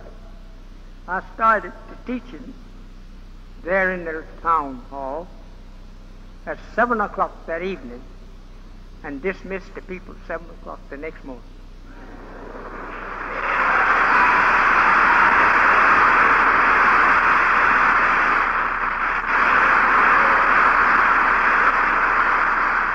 when I am feeling very well, like I am now,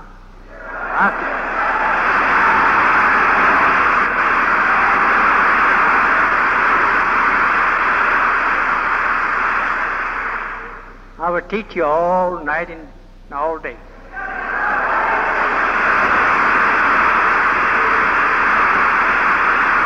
When I, when I was in Washington, making temple number four, that's temple number four there. I used to dismiss the group and go to some of the sisters' home to have dinner. When I get there, some of the group from the temple had already arrived. They know probably where I was going to have dinner. They all were sitting there just eager as it was when they arrived at the temple. Where's Sister Dorothy? Stand up, Sister Dorothy. Over here to my left.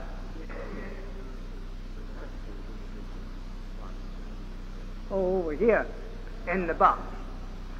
Uh, this sister, she used to work in the secretary work there at that time.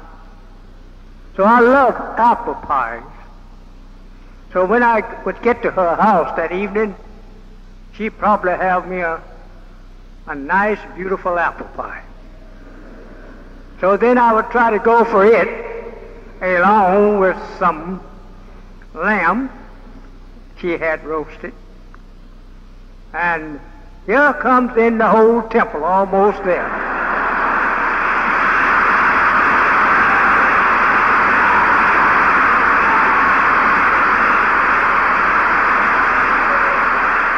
I began to have two thoughts about them. I wonder which one was I preaching to you food, physical food, or spiritual food.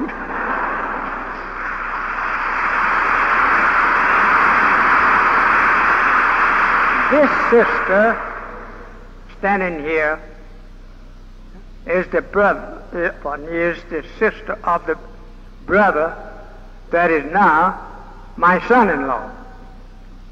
And she was a wonderful and a faithful sister.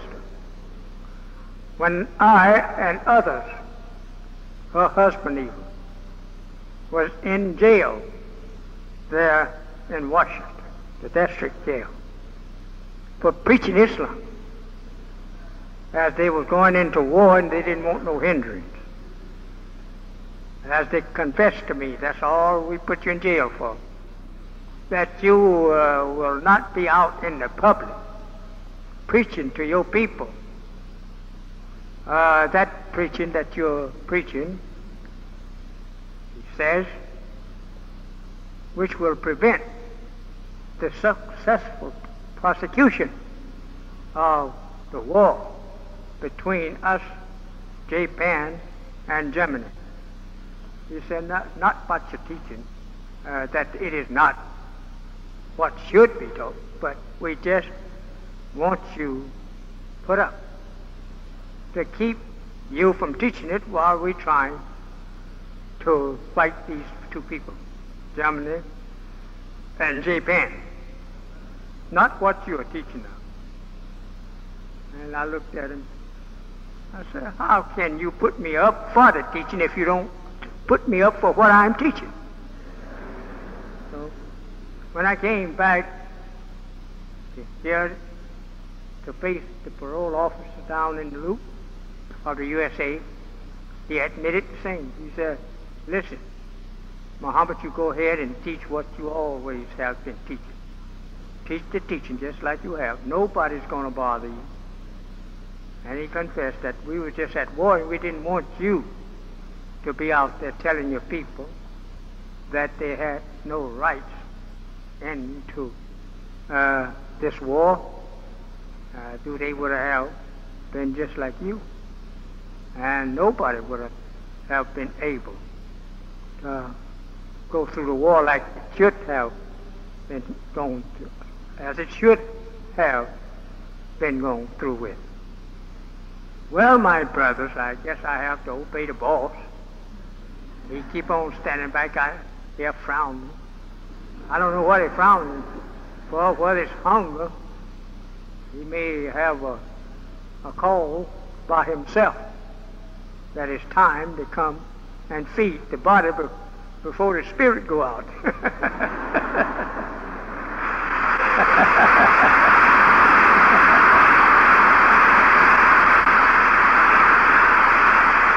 you know why that I'm so long and my teachings to you.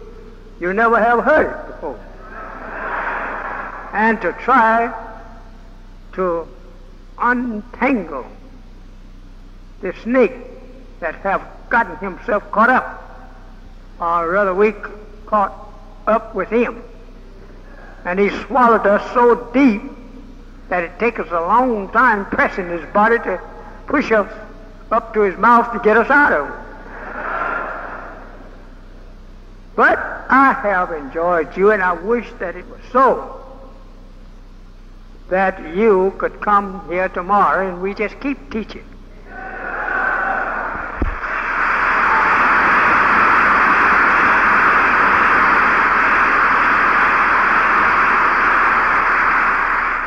You're going to be surprised at what you have not learned of the knowledge of self and others you're going to be surprised.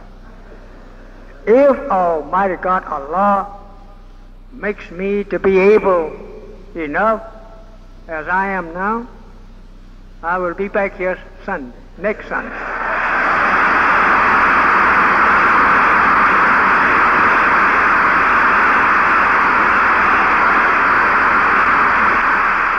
I'm charged with delivery of the message. Not a one of you is charged with that. Because the message was given to me. And if I have 40 million helpers, they all, every one of them, is helping. Not that they are responsible for the message. If you read the Quran and Bible, I'm the only one God will hold responsible for you not getting the truth. Because He gave me the truth, and the way He gave it to me, He gave it to me like a flowing spring or like a flowing uh, fountain. The fountain have enough drink in it to give everyone drink that come to drink. You don't need a new fountain. Just try and drink up what this fountain.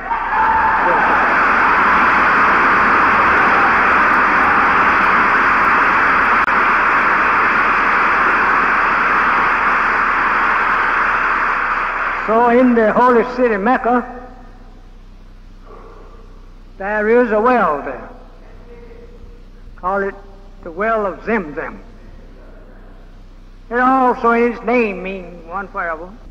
And that uh, the righteous drink uh, this literal water.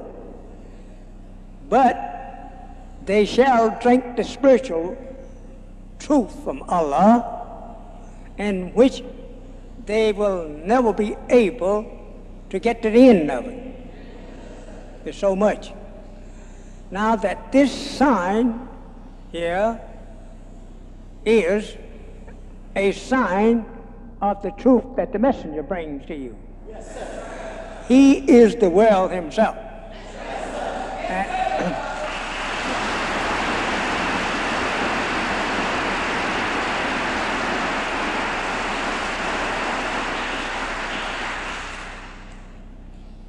it made me to think over Jesus talking to the wicked woman who had been so wicked all her life.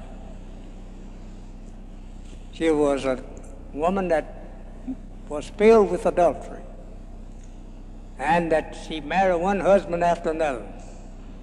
Of course, she would not be anything today if she was here. She'd laugh at her seven husbands being a small beginning. But I'm not going to go into the interpretation of that. But I will some day when I have more time. But that well there, I drank out of it myself. It's water that is very light and easy to digest in your body and my body.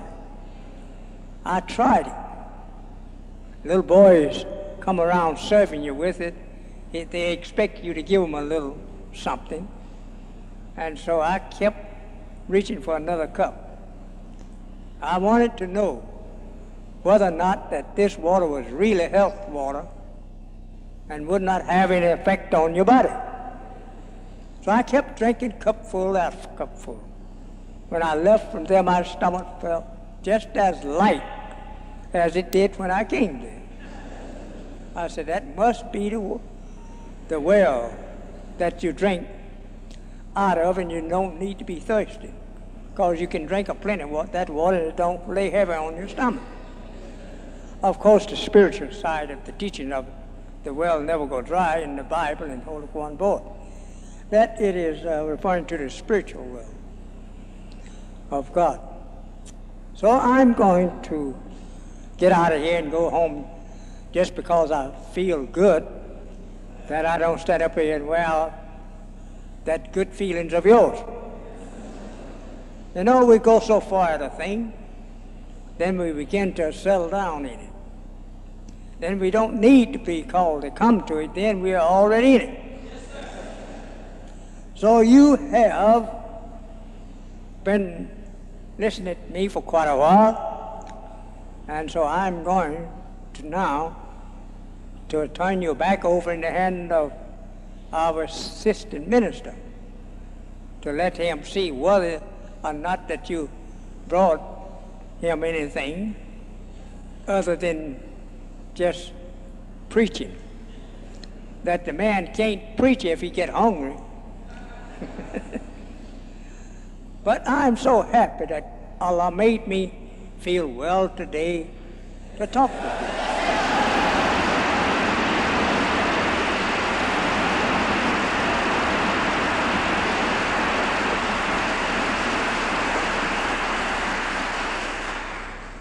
I'm going to say to you that visit us today. I love you so well. If I had a table for each one of you, I would tell the brothers to put the food on it. I can, by the help of Allah, feed every one of you that is here and won't be in the break line tomorrow, begging for me some bread. I did ten, feed 10,000 once.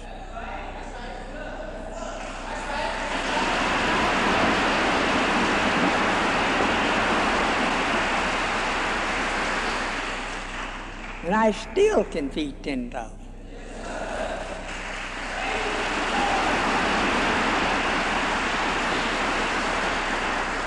Not that I'm boasting that I have lots of money to do so, nor am I boasting that I will cause some miraculous thing like the Bible said happened to Jesus to feed 7,000 people.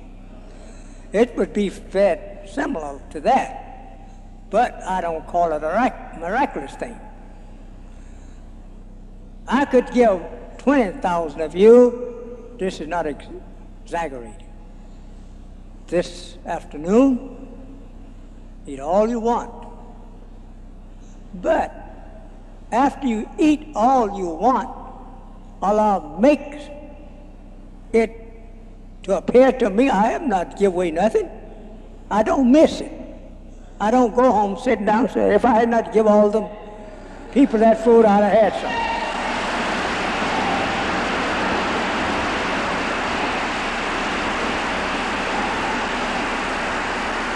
So this is true. I never miss nothing I give you. Nothing. So I thank you. Don't you will be telling me, well, we thank you that we can give you. but I'm just happy to look at you and I just want to talk with you.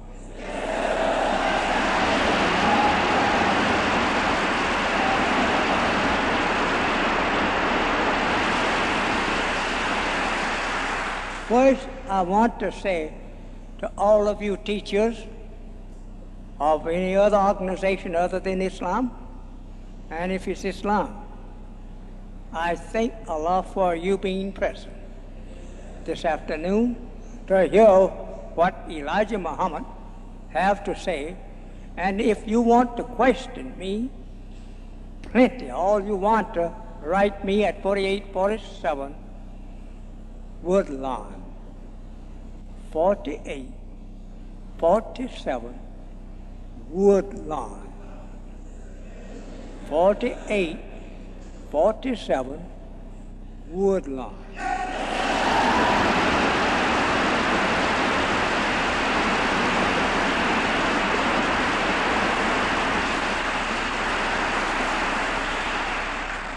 So I thank you. I'm going to turn you back in the hands of our assistant minister, Minister Shah. That name is from uh, one of the set, which was three of the scientists from, from Muhammad teachings.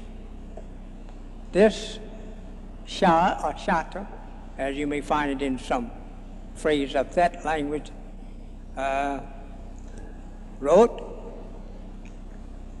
They were scientists on Islam and helped building up the Holy Quran that Muhammad said he saw and was given.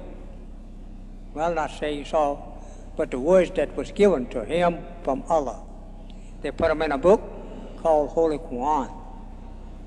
Holy Quran, and one of the most finest meanings to us is a book of healing. It means healing. And it is healing us of the wound of Satan. So I'm going to turn you back in to the hand of him, and he will dismiss you soon. And uh, you help him. I tell you the way to help them to do this job real quick. Uh, don't wait till he asks you for a donation. Just hey, hey, hey, here you are.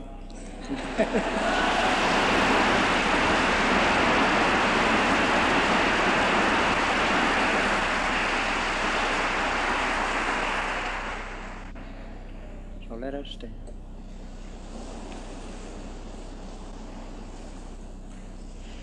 I'm turning you back in the hands of my system to dismiss you now. I'm not asking you to stand and get up, go out as soon as you see my back to him. You stay here and see what he have to say. So in the name of Allah, may the peace and the blessings of Allah go with you wherever you may go and bless you in understanding the knowledge of His word as I have given it to you. Assalamu alaikum.